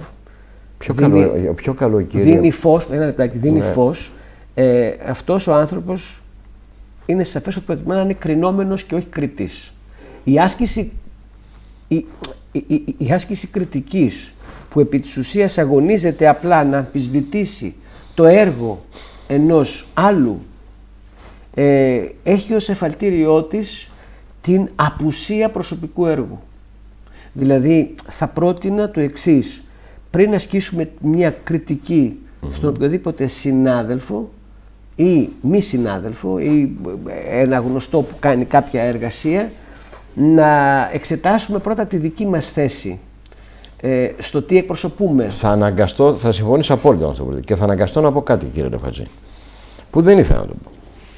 Δεν μου λέτε. Εάν δεν γινόντουσαν τα έργα στον περίβολο για να μπορέσει να προστατευτεί, δηλαδή να τον καταχώσουμε ούτως ώστε τα νεροφαγώματα. Αυτό πάμε μετά. Αυτό πάμε, πάμε μετά όχι, θέλω να το πω. Υπήρχε κίνδυνος να καταρρεύσει ο περίβολο. Είναι σαφές. Όπως και υπήρχε, δηλαδή υπήρχε κίνδυνος να καταρρεύσει. Καταρχήν, αυτό δεν είναι κατάχωση. Α, μπράβο. Έχουν τοποθετηθεί, έχουν τοποθετηθεί σάκι με ασβεστητικά δηλαδή με ριζάκι το λεγόμενο, που διαθέτουν την απαιτούμενη διαπνοή για να μην έχει προβλήματα υγρασίας στο υλικό. Ε, είναι ένα τείχος από σάκους το οποίο αντιστηρίζει τον περίβολο, ο οποίος από τις οθήσεις των γεών είχε πάρει κιόλας επικίνδυνη κλίση και σε κάποιο σημείο είχε καταρρεύσει. Από την πίσω μεριά νομίζω, ναι. Στην βορειοδυτική πλευρά, βορειοδυτική πλευρά. Ε, εμείς λοιπόν στα 497 μέτρα. Τα αυτά, είναι πολύ σημαντικό. Στα 497 μέτρα περιβόλου αποφασίσαμε τα 40 μέτρα από αυτά, τα οποία είναι ακριβώς ε, στη δυτική πλευρά, 40 μέτρα τα οποία είχαν εκτεθεί από την αρχή ε, και δεν είχαν καθόλου μαρμάρινο θώρακα, ήταν αποξυλωμένος όλος μαρμάρινος θώρακας, που σημαίνει ότι ήταν αποδυναμωμένα πλήρως, είχαν πάρει κλίση ε, στην ανώτερη δηλαδή η, η ενώτερη δόμη αυτού του τείχου είχαν, είχαν ουσιαστικά μετακινηθεί και, και, και είχαμε μεγάλη πιθανότητα κατα, δηλαδή κατάρρευσης τμήματος του περιβόλου σε εκείνο το σημείο. Και τι κάνατε, ε, κύριε ε, Εκείνη την ώρα αποφασίσαμε ότι θα πρέπει λόγω του ότι δεν ήταν ε, της ώρας σε επίπεδο ιεράρχησης ε, να αφαιρεθούν τα χώματα από πάνω γιατί όταν αφαιρέσεις τα χώματα και έχεις σωστή κλίση έτσι ώστε να μην ανισθαίνουν τα χωμάτινα πρανή τότε ο περίβολος ήταν πιο ασφαλής. Δεν μπορούσαμε όμως εκείνη την εποχή να τα αφαιρέσουμε για λόγους οι οποίοι δεν άπτονται της δικής μου ευθύνης. Ε, και έτσι έπρεπε επιγόντως για τον επόμενο χειμώνα ε, να, φυσικά να φτιάξουμε, να κατασκευάσουμε ένα τείχο από σάκους μπροστά από τον τείχο αυτόν να τον αντιστηρίξουμε όσο μπορούμε σε μία, ένα μήκος, επαναλαμβάνω, 40 μέτρων. 40 μέτρα. Τα 497 μέτρα του περιβόλου τα ξεχνάμε. Ξεχνάμε δηλαδή ότι κάναμε ναι. ουσιαστικά αυτή την εργασία σε ένα ελάχιστο κομμάτι. Άρα έγινε ε, στα 40 μέτρα, όχι στα 500. Όχι, στα 40 μέτρα. Ούτε έγινε. καν στο 11. Και μάλιστα, και μάλιστα ε, με τις εργασίες που θα γίνουν στο πλαίσιο του ΕΣΠΑ, στο πλαίσιο του προγράμματος αποκατάστασης του μνημείου, στο οποίο θα αφαιρεθούν, ουσιαστικά θα γίνει διαμόρφωση των πρανών επάνω από τον περίβολο στην αρχαία κλίση των πρανών των 22 μοιρών, ε, θα απελευθερωθεί ουσιαστικά, ε, θα έχει δυνατότητα πια να απελευθερωθεί και το κομμάτι του περιβόλου από τη στιγμή που ε, δεν θα έχει τις οθήσεις που έχει τώρα. Το, το ζήτημα είναι πιο όμως.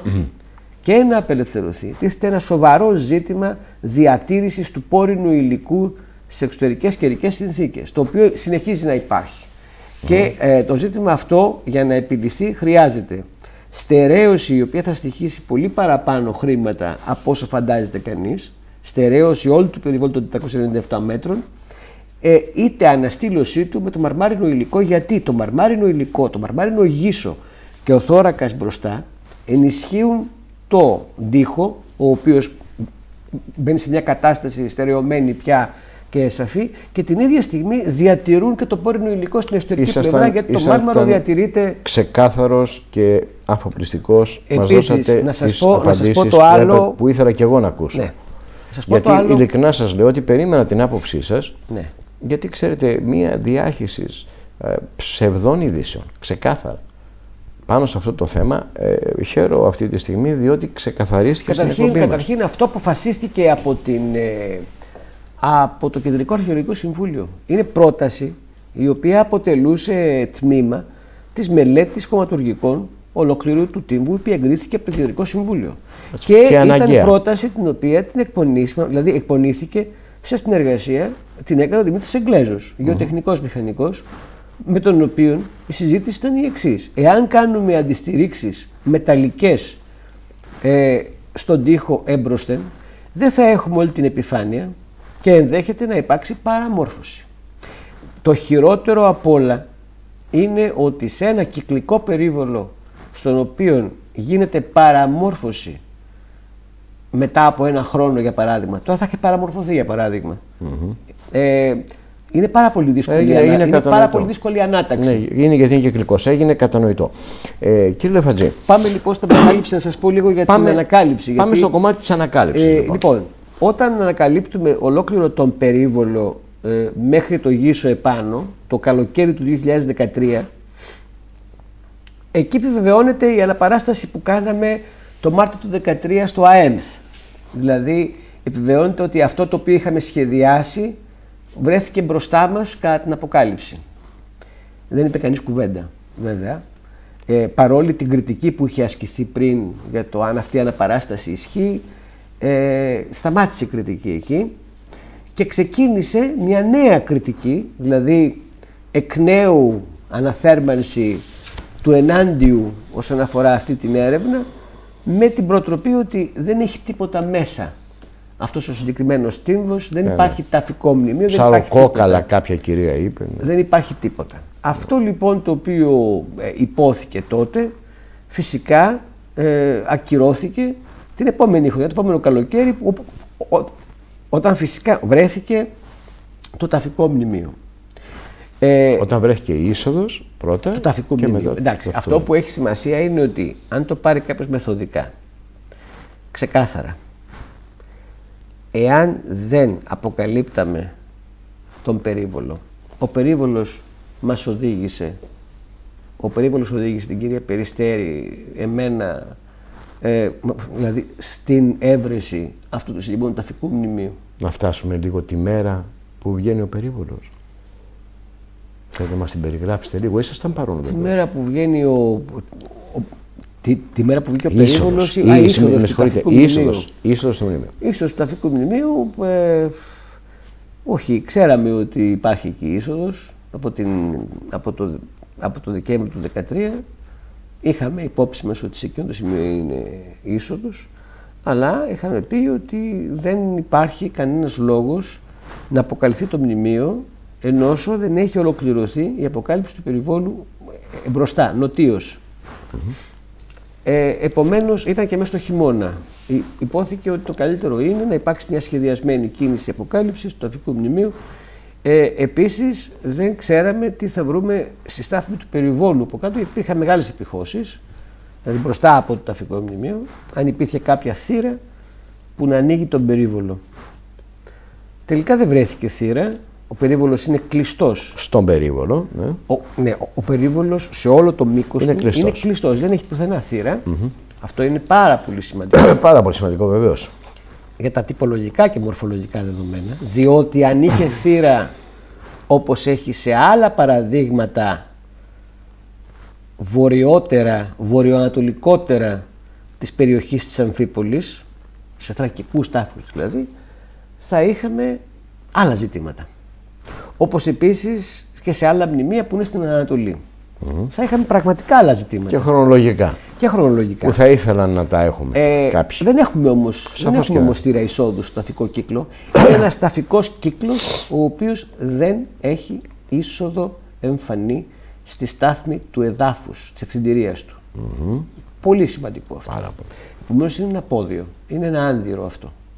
Δηλαδή είναι ένας χώρος ο οποίος αυτός ο χώρος οριοθετεί το ταφικό μας μνημείο, το ταφικό συγκρότημα ε, σε μια περιοχή 22 στρεμμάτων, τεράστιο. 22 22 στρέμματα. στρέμματα είναι.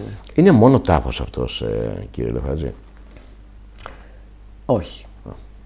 Ε, η άποψή μου είναι ότι βάσει των ε, αρχιτεκτονικών δεδομένων, θα μιλήσω μόνο σαν αρχιτέκτονα Σαν για το θέμα, αρχιτέκτονας, ναι, ε, η διάταξη των χώρων, τα μορφολογικά και τυπολογικά τους χαρακτηριστικά, τα οποία έχουν, έχουν δεχθεί ερμηνείες, πολλαπλές ερμηνείες, πολλές από αυτές σχεδόν ανούσιες, γιατί δεν μπορείς να αξιολογήσεις ένα ζωντανό αρχιτεκτόνημα γιατί είναι ζωντανό το οικοδόμημα αυτό ακόμα. Δηλαδή εννοώ ότι το βρήκαμε όπως ήταν. Πολύ σημαντικό αυτό. Δεν βρήκαμε θεμέλια, βρήκαμε την οδομή του. Όλοι. Και βρήκαμε και τα γλυπτα Ε, κάποιοι με, με μία κατεύθυνση στην ιστορία της τεχνης ε, ναι προσπάθησαν σε αυτήν την απόλυτα ε, ανεξήγητη συνύπαρξη σε τόσο μικρή απόσταση, σε τόσο μικρή κλίμακα ε, γλυπτών τα οποία δεν έχουν ξαναβρεθεί ποτέ σε τόσο μικρό χώρο, σε τόσο Και σε ένα χώρο γραπτίζει ο κλειστό. χώρος. Ναι, η γραπτός είναι μετά, είναι στην δεύτερη οικοδομική φάση. Απλώς αυτό όλο, αυτή όλη η συνύπαρξη, ε, ίσως και να θεωρήθηκε ε, ίσως και να θεωρήθηκε πολύ αδόκιμη σε σχέση με τον αρχαίο κόσμο. Δηλαδή, εκεί ξεκίνησαν οι πρώτες προσεγγίσεις που είχαν να κάνουν με ε, τα τυχόν ρωμαϊκά χαρακτηριστικά του μνημείου. Η παράθεση Ναι. των γλυπτών. Το θέμα είναι ότι τα γλυπτά είναι αρχαιότερα. Δηλαδή χρονολογούνται σε αρχαιότερη περίοδο από τη Ρωμαϊκή. Είναι σαφές αυτό. Ε, ναι, κάποιοι προσπάθησαν να πούν ότι τα γλυπτά ε, ήρθαν εισαγόμενα από άλλο σημείο και είναι ένθετα επάνω στο επιστήλιο ε, του πρώτου χώρου, ε, όπως και οι κόρες δηλαδή, οι καριάτιδες πίσω, οι κόρες Οι κόρες. Ε, είναι και αυτές ένθετες. Ξέρετε ότι Αυτό εγώ είναι τραγικό τις λάθος. έχω ονομάσει κλόδονες.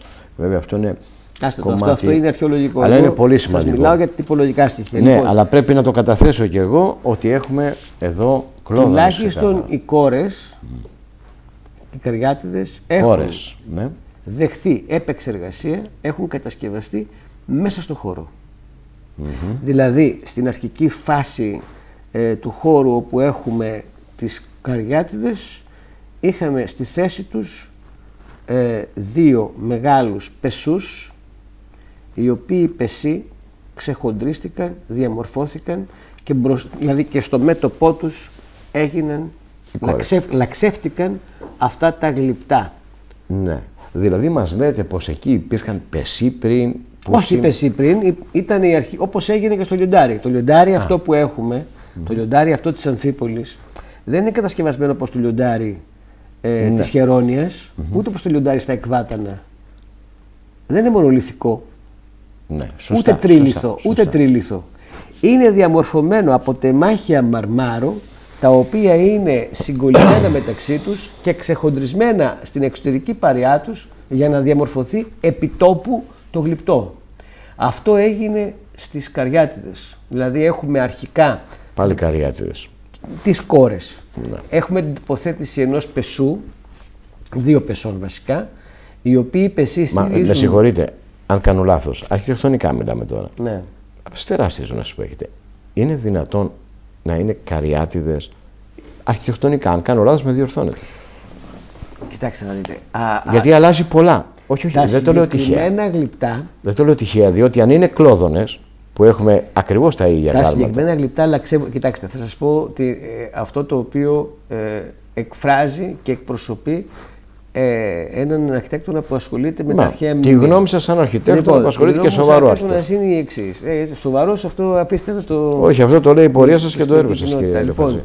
ε, είναι ότι έχουμε πεσό, έχουμε πεσούς οι οποίοι στηρίζουν επιστήλιο και τύμπανο και, και στην αρχική τους κατάσταση είναι πεσί μεγάλης διατομής οι οποίοι στηρίζουν το επιστήλιο και το τύμπανο του συγκεκριμένου διαφράγματος και στο νότιο μέτωπο αυτών των πεσών διαμορφώνται τα γλυπτά. Στην πραγματικότητα αυτές είναι κόρες συμφυής με πεσό. Ξέρετε, σας το λέω αυτό κύριε Λεφατζή. Και θα σας γιατί- πω μάλιστα ότι... Επιτρέψτε μου μόνο Ναι, αυτό να σας πω. Ναι, ναι.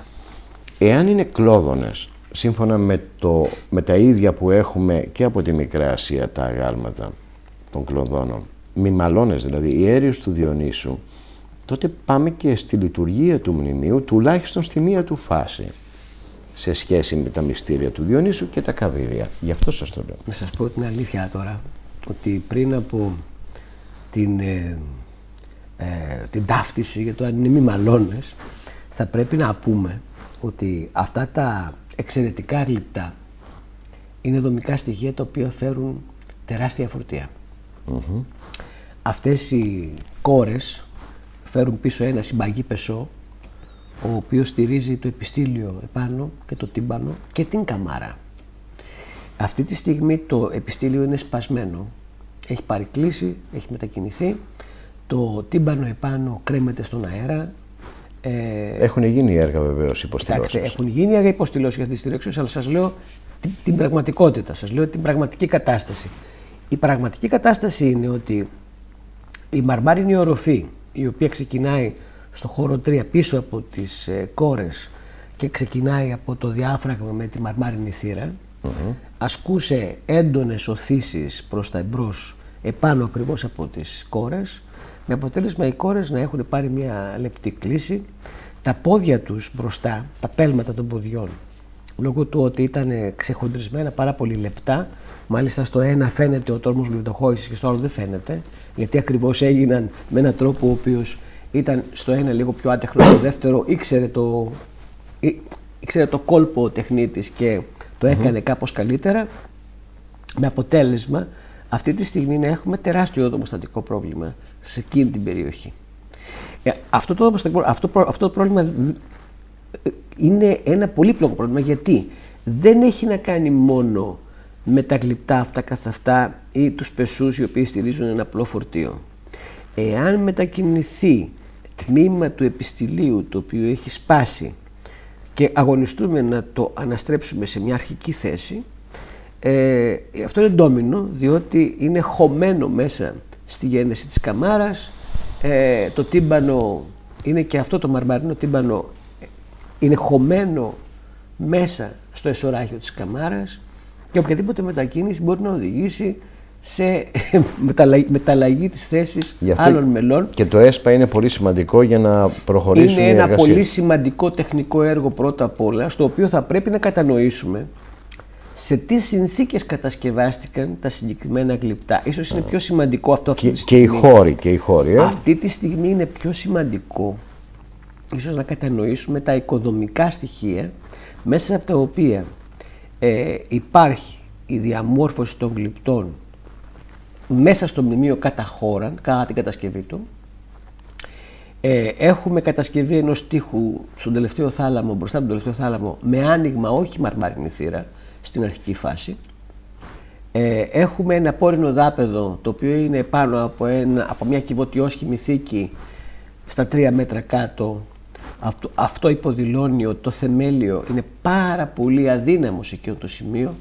Ε, οι οθήσεις των γεών είναι τεράστιες επάνω από αυτό. Δηλαδή οι τείχοι του τελευταίου θαλάμου δέχονται τις μεγαλύτερες οθήσεις γιατί εκεί η επίχωση του τίμου έχει αυξηθεί πάρα πολύ.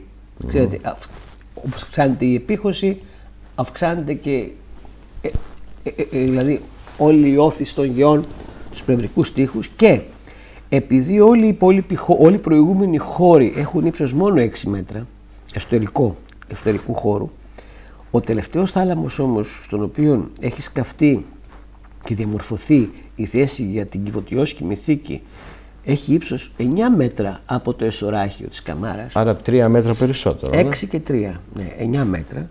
Αυτό είχε σαν αποτέλεσμα μαζί με τον γεωτεχνικό μηχανικό Δημήτρη Εγγλέζο, τον πολιτικό μηχανικό Δημήτρη Εγγλέζο, ε, να υπάρξει σειρά από, από, δηλαδή είχε προσεγγίσεις κατά τη διάρκεια της ανασκαφής ΔΕ στις οποίες η αγωνία μας ήταν να κατανοήσουμε τι πραγματικά συμβαίνει πριν το αποκαλύψουμε έτσι ώστε να είναι ασφαλές και να μην έχουμε αστοχίες, ετοιμορροπίες ναι. στο συγκεκριμένο μνημείο. Ε, για μενα πριν από κάθε μορφή ερμηνείας αυτού του, δηλαδή του μνημείου αυτού καθ' αυτού θα ήταν καλό να συλλέξουμε και να έχουμε στο μυαλό μας όλα δηλαδή τα, τα, τα, τεχνικά δεδομένα της οικοδόμησής του και μέσα από αυτά και, και φυσικά από τα υπόλοιπα ανασκαφικά στοιχεία να αποκαλυφθεί η ερμηνεία. Η ερμηνεία δεν μπορεί να αποκαλυφθεί μόνο ναι. μέσα από τα αρχαιολογικά δεδομένα. Σαφώς. Στη συγκεκριμένη φάση. Μα γι' αυτό και εγώ τη γνώμη σας τη ζητώ σαν αρχιτέκτονας. Αυτή η ανασκαφή ήταν μεγάλο τεχνικό έργο. Ναι. Ήταν ένα μεγάλο και δύσκολο τεχνικό έργο το οποίο δεν έχει ξαναγίνει. Όμως εγώ θα επιμείνω πάνω σε κάποια θεματάκια.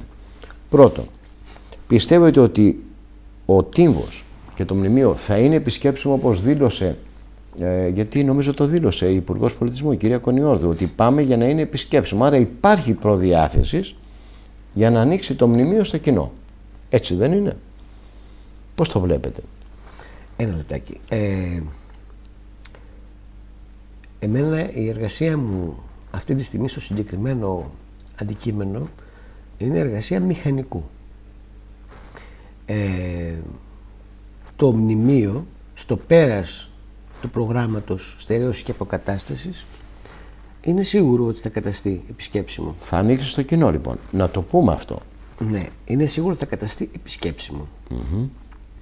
Ε, είναι σαφές ότι θα αφαιρεθούν τα σίδερα από τους πρώτους τρεις θαλάμους με την υπόμνηση ίσως ε, ενός υποτυπώδους μικρού νάρθηκα σε κάποιο σημείο του, του, του θαλάμου και βέβαια ε, με την ύπαρξη υποστηλώσεων και αντιστηρίξεων πολύ λιγότερων βέβαια ανάλογα με το πώς ακριβώς θα δημορφωθεί το πράγμα στον τελευταίο θάλαμο. Για να είναι απολύτως ασφαλές, βεβαίως. Εξού και υπάρχει. Στον κυβωτιόσχημο εννοείται. Ναι, εξού και υπάρχει ένα ολόκληρο, ένα ολόκληρο υποέργο αυτού του προγράμματος που έχει να κάνει με την αποφόρτιση των γεών ε, στην περίμετρο του ταφικού μνημείου με πασάλους οι οποίοι πάσαλοι αυτό θα κάνουν, θα αποφορτήσουν.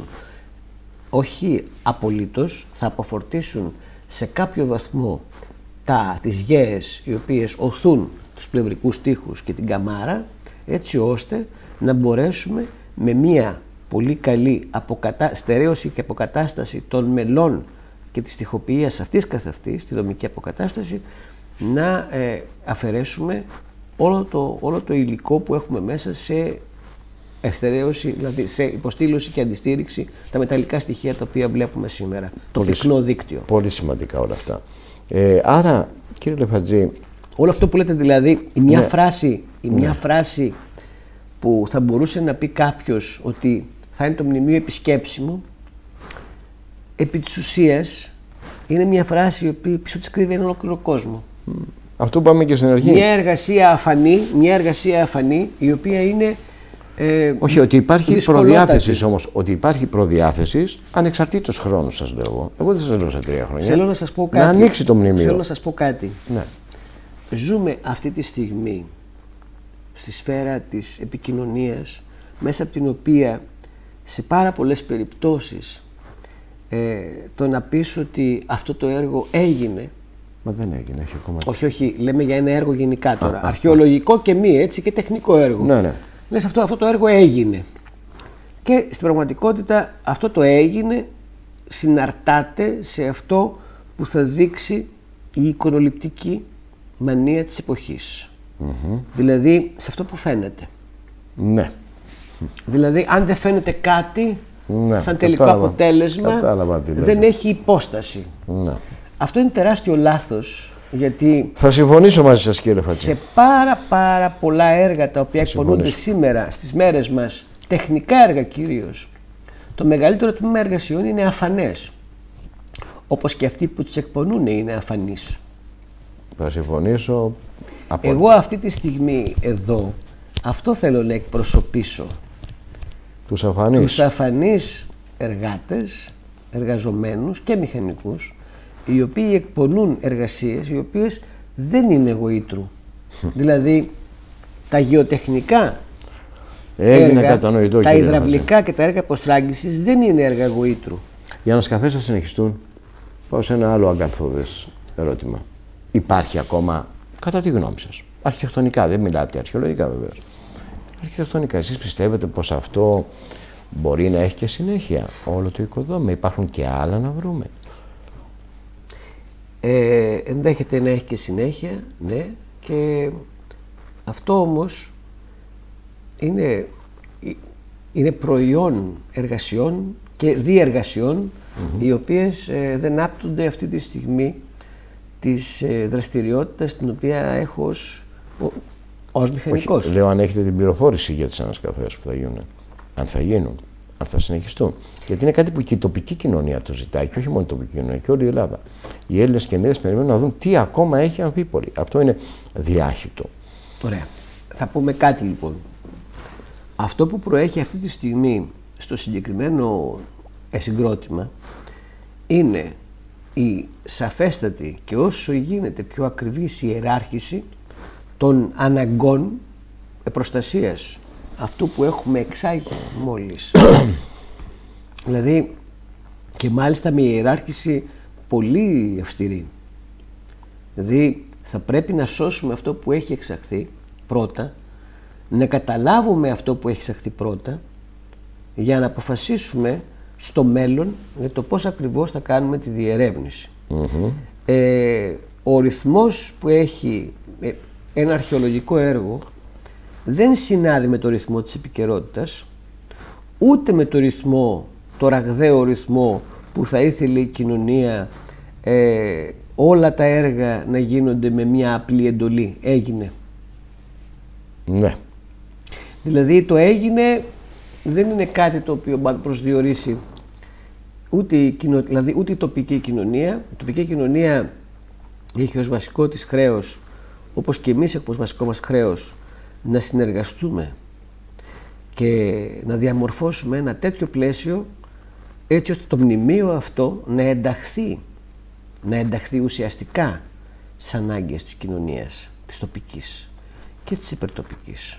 Και της υπερτοπικής και να αξιοποιηθεί ακόμα περισσότερο. Και μακάρι να Αλλά θα συνεχιστούν πρέπει- και να γίνουν αλλά ανασκαφές. θα πρέπει- αλλά θα Άλλωστε, με πρέπει- συγχωρείτε, με ναι. συγχωρείτε. Άλλωστε, όλες αυτές οι εργασίες που θα γίνουν επί του τύμβου ε, ουσιαστικά θα είναι και μια ανασκαφή. Θα τολμούσα να πω εγώ σαν αρχαιολόγος.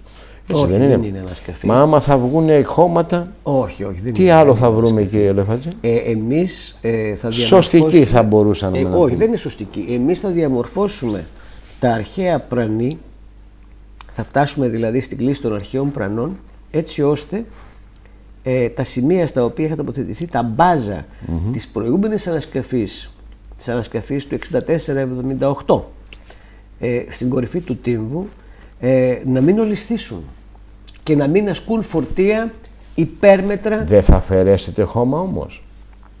Μα αυτό δεν λέμε. Φυσικά Άρα, θα αν κάτι αφαιρέσουμε χώρο. υπάρχει, θα βρεθεί επί του τύμβου. Λέω εγώ, κάποια άλλη είσοδος, στη κάτι, στάθμη- κάποιο μνημείο. Όχι, είσοδος δεν υπάρχει. Δεν υπάρχει άλλη. Κοιτάξτε, είσοδος τέτοιου τύπου, Σε κάποιο άλλο μνημείο, λέω μήπως. ο περίβολος δεν έχει καμία είσοδο. Ο περίοδο το ξεκαθαρίσατε.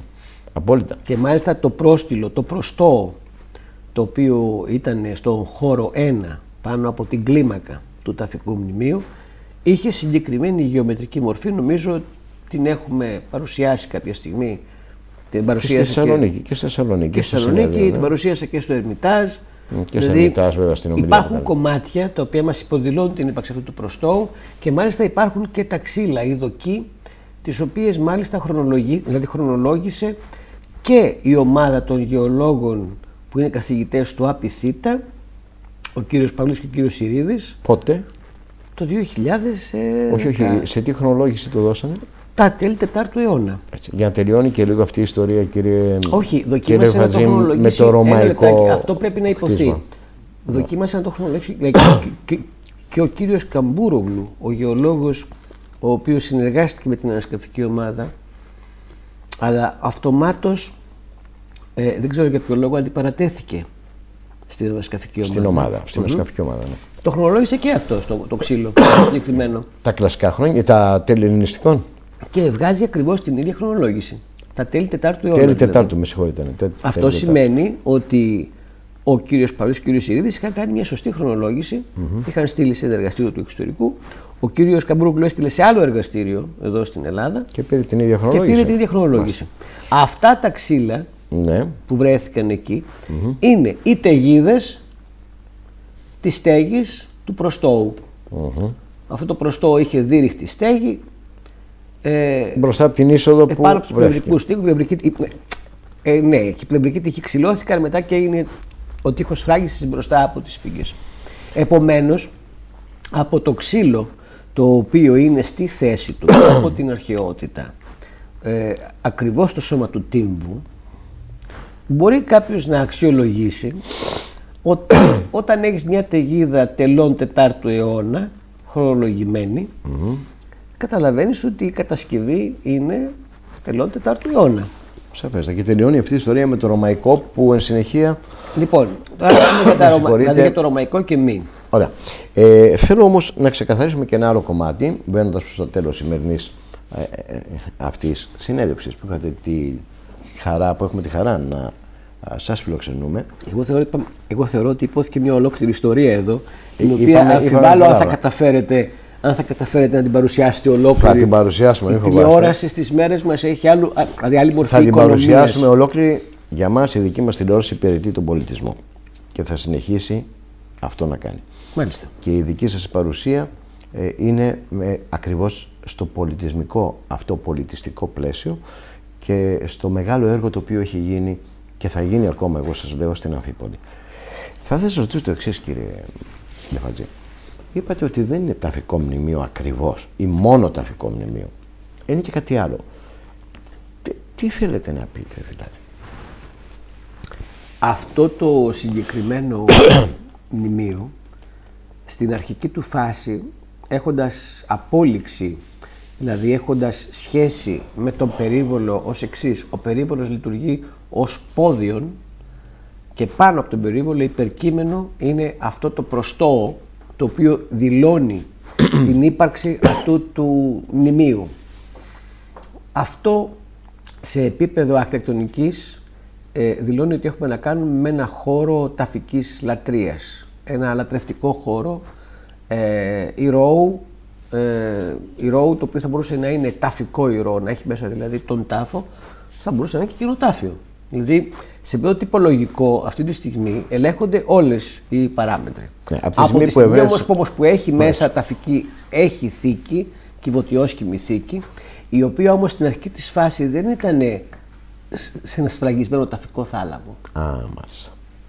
Άρα ο τρίτος θάλαμο δεν ήταν σφραγισμένο. Ο τέταρτος θάλαμος. Ο δεύτερος. Ο τέταρτος Ο θάλαμος. τέταρτος, με συγχωρείτε. Ο τελευταίος θάλαμος Με τη θύρα τη μαρμαρίνη δεν έχει θύρα μαρμάρινη στην αρχή. δεν είχε στην αρχή. Η, η- στην πρώτη οικοδομική φάση φαίνεται ξεκάθαρα ότι έχουμε να κάνουμε με ένα θηραίο άνοιγμα, άνοιγμα κανονικά, ε, το οποίο είναι ακριβώς ίδιο, καταρχήν μπροστά κάτω από τις φύγγες επίσης, δεν είναι η πλευρική τύχη που φαίνονται κάτω από τις φύγγες της αρχικής φάσης. Στην αρχική φάση δεν υπάρχουν τύχοι εκεί, είναι ψευδότυχοι αυτοί, είναι κούφοι, α, είναι από επίκρισμα φτιαγμένοι. Ε, υπάρχουν παραστάδες πάλι επάνω στις οποίες εδράζεται το επιστήλιο και οι σφίγγες. Με, με την ίδια λογική υπάρχουν νέες παραστάδες, δηλαδή ουσιαστικά νέοι πεσί που γίνονται οι κόρες πίσω, ακριβώς με την ίδια λογική και πίσω υπάρχει μία, ένα θηραίο άνοιγμα το οποίο θηραίο άνοιγμα στον τελευταίο θάλαμο που οδηγεί, οδηγεί σε ένα πόρινο δάπεδο επάνω από τον κυβωτιόσκημο τάφο, το οποίο δεν έχει καμία εσοχή, δεν έχει καμία, κανένα άνοιγμα το οποίο ε, να παρουσιάζει ίχνος από την κυβωτιόσκημη θήκη από κάτω.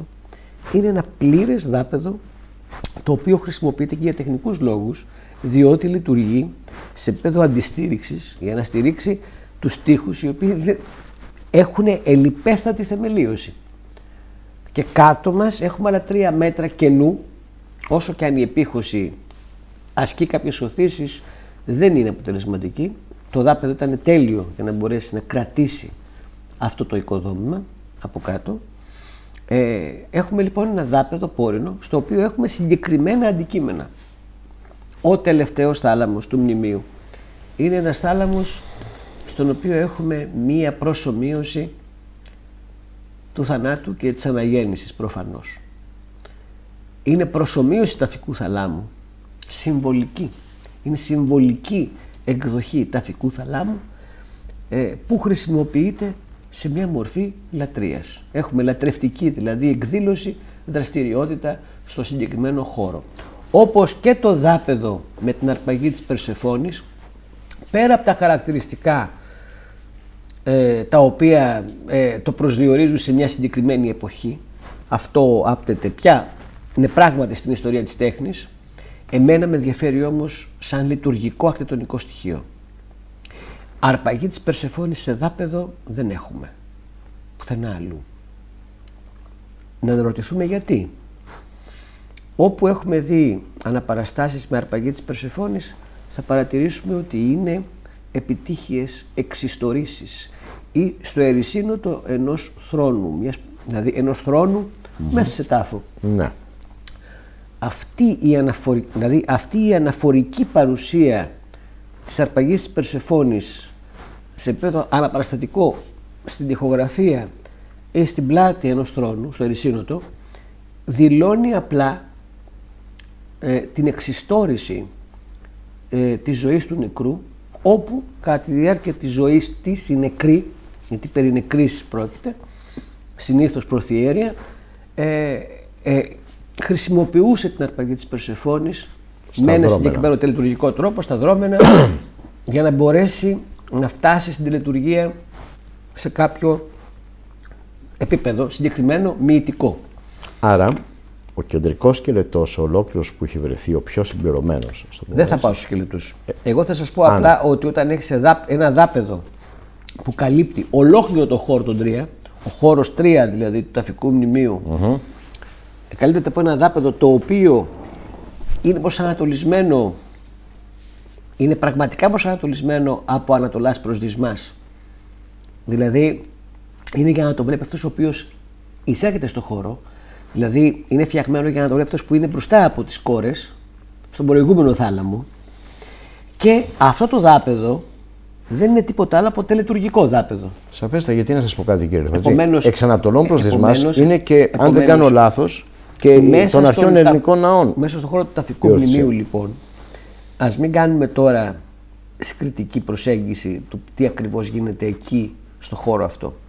Θα πούμε τα μετρημένα δεδομένα, τα απτά δεδομένα, ότι αυτός ο χώρος από το προστό στο χώρο 1 μέχρι και, τον ταφικό, μέχρι και το θάλαμο μέσα που έχει την κυβωτιόσχημη θήκη ε, δεν έχει πουθενά μαρμάρινη θύρα στην αρχική του κατάσταση, στην αρχική του οικοδόμηση. Ε, για να τοποθετηθεί η μαρμάρινη θύρα έγινε μια σειρά από επεμβάσεις οι οποίες φαίνονται στο οικοδόμημα με τρόπο απολύτως φανερό.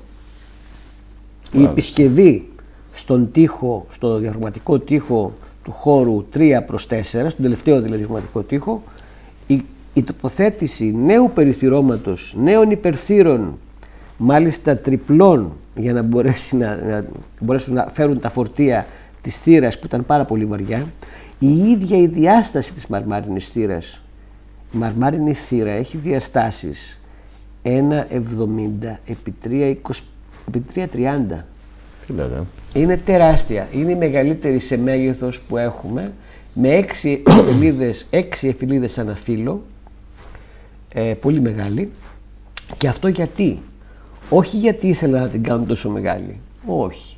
Γιατί το άνοιγμα ήταν τόσο, το αρχικό άνοιγμα. Έπρεπε να έχουν το αρχικό, δηλαδή ουσιαστικά ο τείχος του διαφράγματος υπέβαλε και τις διαστάσεις της θύρας, γι' αυτό μπήκε τόσο μεγάλη. Πότε μπήκε η Επίσης, θύρα; Πότε μπήκε η θύρα; ένα λεπτάκι. Ε, θα πω απλά ότι επειδή δεν είχαν δυνατότητα έδρασης της θύρας, καλύτερης έδρασης στην υποκείμενη στρώση στο θεμέλιο, διότι μπροστά υπήρχε ένα ψηφιδωτό με την αρπαγή τη Περσεφόνη που δεν μπορούσαν να ενοχλήσουν και πίσω υπήρχε ε, το πόρινο δάπεδο του τάφου, του ταφικού μνημείου από κάτω δηλαδή, του κυβωτιόσχημου, έκαναν το εξής. Στην άνω, ε, δηλαδή στην υπερκείμενη, ε, ε, δηλαδή τη στάθμη που ολοκληρώνεται η πόρτα, η μαρμάρινη θύρα, έκαναν μια μορφή αντιστήριξης. Έβαλαν αυτή τη μαρμάρινη οροφή που βλέπουμε. Η μαρμάρινη οροφή που έχει τοποθετηθεί ακριβώς ανάμεσα στο διάφραγμα το τελευταίο και σε αυτό που είναι οι καριάτιδες τοποθετείται για να αντιστηρίξει το μεγάλο φορτίο της μαρμάρινης θύρας. Όπως και ο χώρος 3, εκεί που είναι το ψηφιδωτό, ενισχύεται. Ενισχύεται με περαιτέρω τυχοποιία, δηλαδή τεμάχια μαρμάρου, τα οποία τον στενεύουν από τους άλλους χώρους και αυτή η τυχοποιία πατάει ακριβώς πάνω στο ψηφιδωτό γιατί ακριβώς θα πρέπει να φέρει όλα τα οικοδομικά χαρακτηριστικά. Επομένως, μέσα από αυτήν την οικοδομική φάση επισκευής του ταφικού μνημείου μεταλλάσσεται πλήρως ο χαρακτήρας του. Διότι η μαρμάρινη θύρα σφραγίζεται με γόμφους. Οι γόμφοι στο υπέρθυρο της μαρμάρινης θύρας φαίνονται. Φαίνονται οι ίδιοι ακριβώς γόμφοι, τόρμη μολυβδοχώησης και γόμφοι ε, στην άνω επιφάνεια ε, των θυροφύλων, όπως και κάτω. Επίσης, αυτό που ονομάζουμε κατόφλι, που έχει και τις τροχές της πόρτας που υποτίθεται ότι άνοιγε, ε, δεν είναι κατόφλι στην αρχική του φάση, είναι το πρώτο υπέρθυρο, το οποίο το κατεβάζουν στη στάθμη του κατοφλιού από τη μέσα πλευρά που είναι χώμα, αφαιρούν κάποιους λίθους από το αρχικό δάπεδο για να το στηρίξουν εκεί και αυτές οι τροχές χρησιμοποιούνται για να κλείσουν την πόρτα μία φορά. Δηλαδή βάζουν τα θυρόφυλλα, τοποθετούν τα θυρόφυλλα ανοιχτά και με τρόπο έντεχνο σιγά σιγά σιγά σιγά σιγά τα, Τα κλείνουν, κλείνουνε. τα κλείνουν και εκεί σφραγίζουν και την πόρτα. Τι σφραγίζουν τότε μέσα; Κάτι κάνουν, κάτι βάζουν μέσα; Αυτό που σφράγισαν και που φαίνεται από τα δεδομένα μας είναι ότι αυτοί πριν σφραγίσουν τη μαρμάρινη θύρα ε, είχαν ε, σκάψει, είχαν αφαιρέσει λίθους από το δάπεδο του τελευταίου θαλάμου ε, είχαν αναταράξει κάπου, διαταράξει κάπως τις τρώσεις του χώματος του υποκείμενου ε, του δαπέδου και από εκεί και πέρα είχαν τοποθετήσει μέσα επιπρόσθετη μαζί με τους σκελετούς του, δηλαδή τις δευτερογενείς ταφές που ήταν στον Κιβωτιό, στη- δηλαδή στην Κιβωτιόσχημη θήκη, Ναι, ναι. είχα τοποθετήσει και αυτή τη γυναίκα ε, την οποία αναφέρατε μόλις σε υπερκείμενη στρώση κάτω από το δάπεδο ε, αυτούσια. Δηλαδή είναι ο μόνος ολοκληρωμένος σκελετός ο οποίος βρέθηκε ε, όπως λέει η κυρία Σέβη Τριανταφύλου και γενικότερα η ομάδα των ανθρωπολόγων που μελέτησαν τα, τα οστά.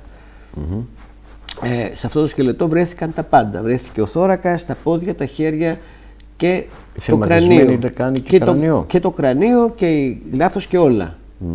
Θρηματισμένη Στους λεκάνη υπόλοιπους και σκελετούς, κρανίο. ναι, στους υπόλοιπους σκελετούς, ε, από ό,τι κατάλαβα α, από την έκθεση που έκαναν οι ανθρωπολόγοι, γιατί δεν έχω σχέση με τα οστά, ε, φαίνεται ότι έχουμε μόνο χέρια και πόδια.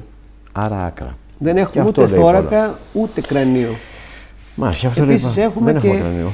έχουμε και πολύ σημαντική τοποθέτηση ε, μια στέφροδόχου η οποία στην τελευταία φάση, δηλαδή είμαστε στην δεύτερη φάση που βγαίνουν τη μαρμάρινη θύρα. Αυτή η μαρμάρινη θύρα σφραγίζει τον τελευταίο θάλαμο, μεταλλάσσεται όλη η χρήση του χώρου η λατρευτική σε Γιατί η κάτι γυναίκα, άλλο. όταν μπαίνει η γυναίκα, Όταν αλλάζει μπαίνει η γυναίκα και κλείνουν προφανώς, οι τοίχοι. κλείνει ο τελευταίος θάλαμος, Κλείνει οι μεταφέρεται, θύρες, ναι. μεταφέρεται η δραστηριότητα του χώρου ένα χώρο πιο έξω, εξού και πια δεν υπάρχει νόημα στη χρήση του συγκεκριμένου τελετουργικού δαπέδου, γιατί αυτό το δάπεδο με την αρπαγή της Περσεφόνης είναι ένα χρηστικό εργαλείο. Έτσι. Και θα έλεγα σε όλους το εξής, να εκλάβουν όλα τα δεδομένα αυτού του χώρου ως χρηστικά εργαλεία και όχι ως διακοσμητικά στοιχεία. Είναι απολύτως λάθος Μάλιστα. σε, σε μια εποχή όπως αυτή να νομίζουμε, να πιστεύουμε ότι αυτά τα οποία έχουμε βρει μέσα στο ταφικό μνημείο είναι διακοσμητικά στοιχεία. Αυτό είναι τεράστιο λάθος. Θα πρέπει όταν να ελέγξουμε το κατά πόσο λειτουργικά ε, στοιχεία ε, ενός χώρου στον οποίο έπρεπε να υπάρξει συγκεκριμένη δραστηριότητα είναι και πολύ λιγότερο να ελέγξουμε τη διακοσμητική τους υπόσταση. είναι πάρα πολύ και σημαντικό να την αυτό, παραθέσουμε. αυτό που είπατε μόλις Ούτως ή τώρα. άλλως οι αρχαίοι δεν είχαν ε, μεγάλη... Τίποτα δεν το κάνει τυχαία.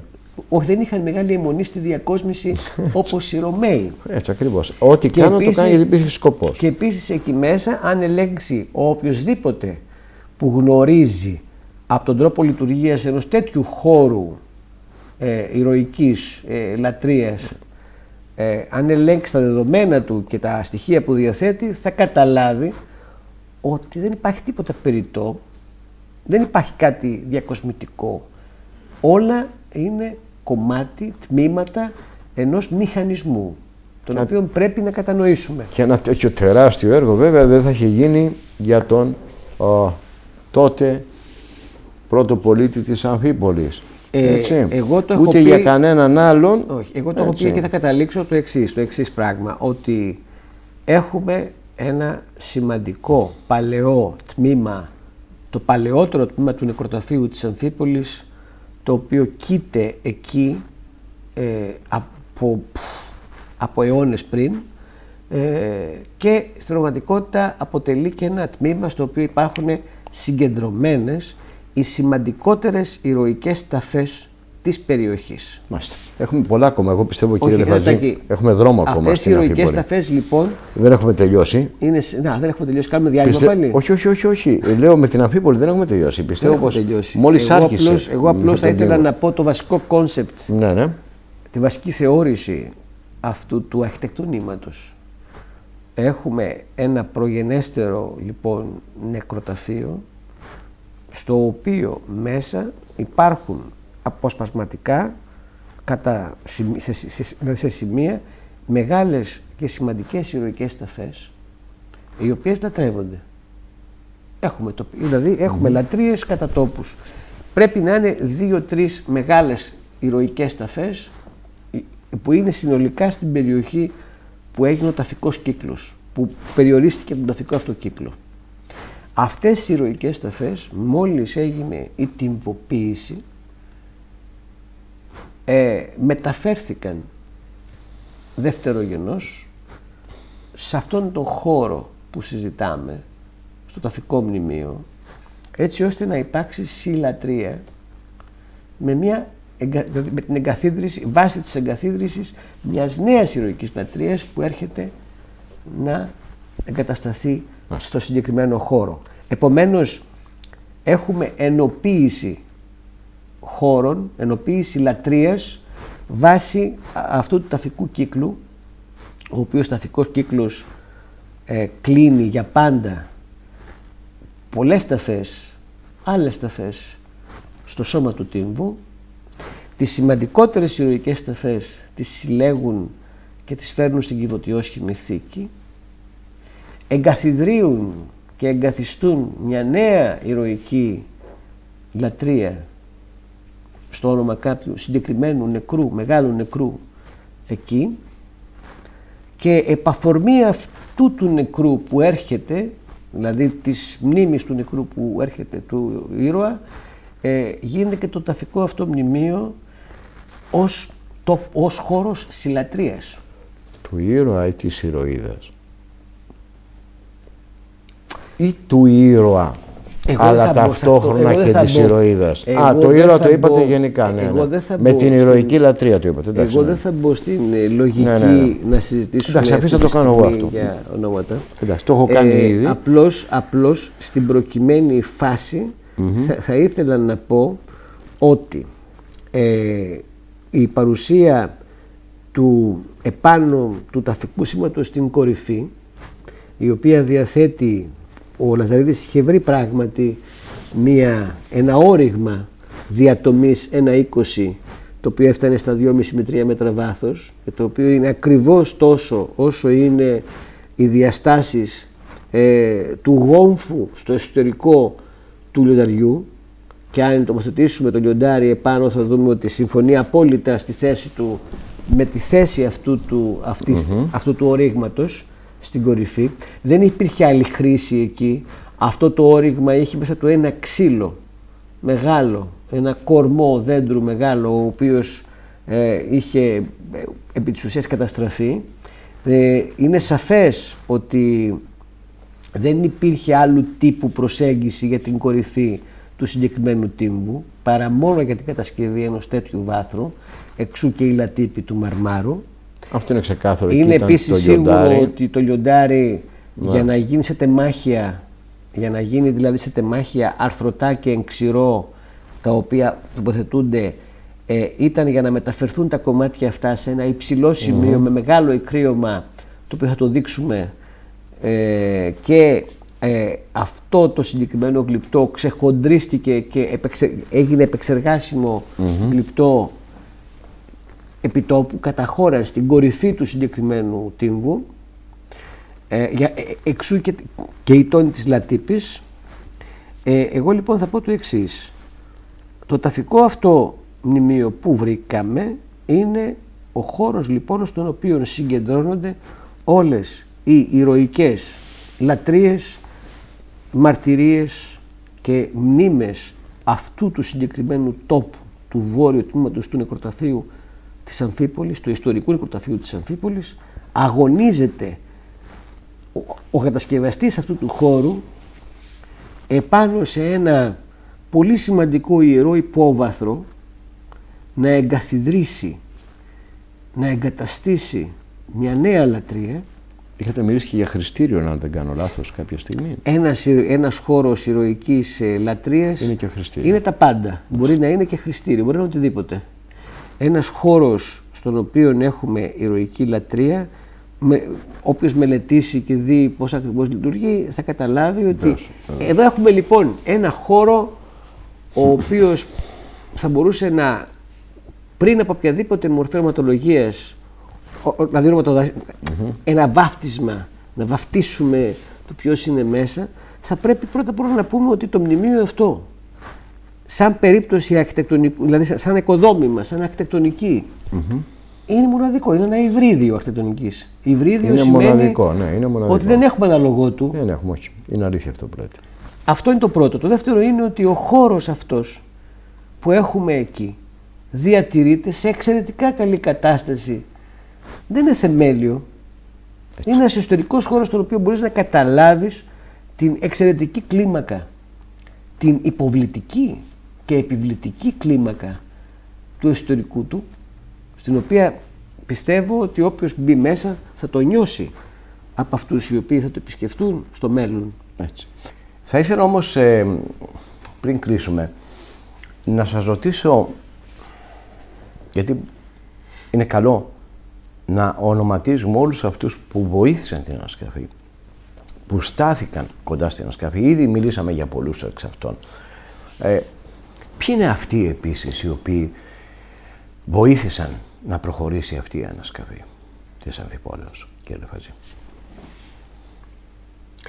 Ε, στην περίπτωση της τότε πολιτικής ηγεσίας του Υπουργείου θα έλεγα ότι η, η συνδρομή της Λίνας Μενδώνη ως Γενικής Γραμματέως ήταν καθοριστική. Θέλετε να μας πείτε περισσότερα γι' αυτό, ναι. Ε, ήταν, κοιτάξτε, η κυρία Λίνα Μενδώνη είναι ένας αποτελεσματικός άνθρωπος.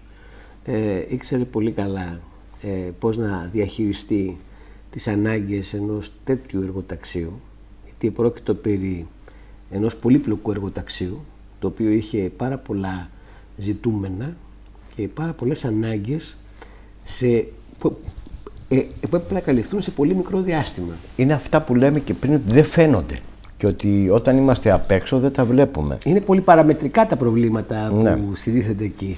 Ε, εάν δεν υπήρχε η συνδρομή, ε, δηλαδή η διαχείριση της ε, Λίμνας Μενδώνη σε σχέση με συγκεκριμένη υπηρεσία του Υπουργείου Πολιτισμού, τη Διεύθυνση Αναστήλωσης, ε, η οποία έπρεπε να λάβει υπόψη της όλα τα δεδομένα και σε επίπεδο πολυπαραμετρικό να επιλύσουμε ζητήματα.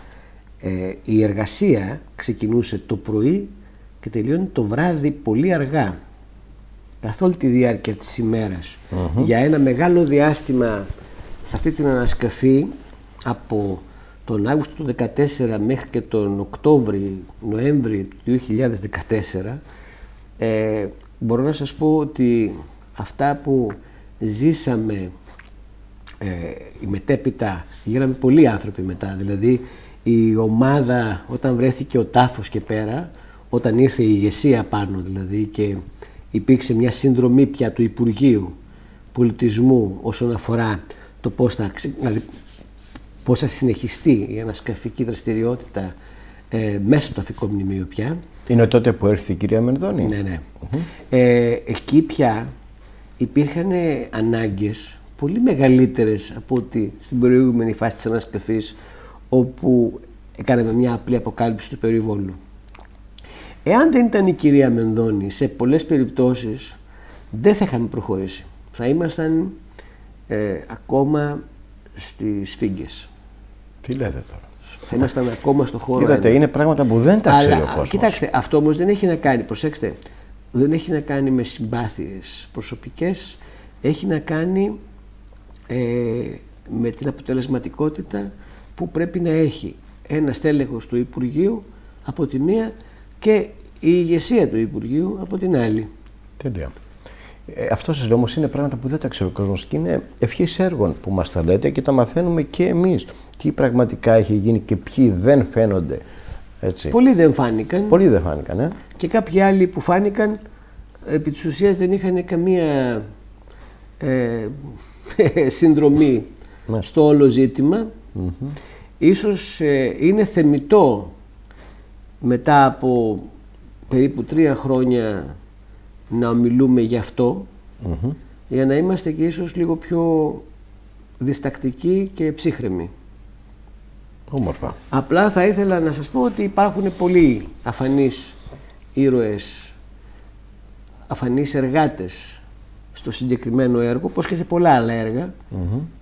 Μην ξεχνάμε ότι υπάρχουν πολλά αρχαιολογικά έργα στην Ελλάδα, στα οποία εμφανίζεται συνήθως μόνο ένας ή δύο άνθρωποι. Όλο το υπόλοιπο προσωπικό, οι άνθρωποι που εργάζονται για τα αρχαιολογικά αυτά έργα, δυστυχώς σε πολλές περιπτώσεις δεν φαίνονται πουθενά. Και εργάτες και φύλακες Ενώ, και αφιερώνουν, ενώ αρχαιολογιάδες. αφιερώνουν πάρα πολύ χρόνο από τη ζωή τους και θυσιάζονται σχεδόν γι' αυτό. Ε, αυτό είναι. Τιμή λοιπόν σε όλους αυτούς οι οποίοι προσέφεραν στην Αμφίπολη. Όχι μόνο στην Αφανείς Αμφίπολη. και εμφανείς. Εγώ θα μιλήσω για την Αμφίπολη. Τώρα, Κοιτάξτε, επειδή και είναι πολλά αυτό. αρχαιολογικά έργα έτσι είναι. Αλλά όμως. και γενικότερα σε όλη την Ελλάδα αυτό το καθεστώς που Το λέτε. ότι το έργο υφίσταται. αυτό προβλήθηκε δεν δηλώνει ότι δεν έχουμε και άλλα έργα στα οποία έχουν Έτσι. γίνει τα ανάλογα. Έτσι.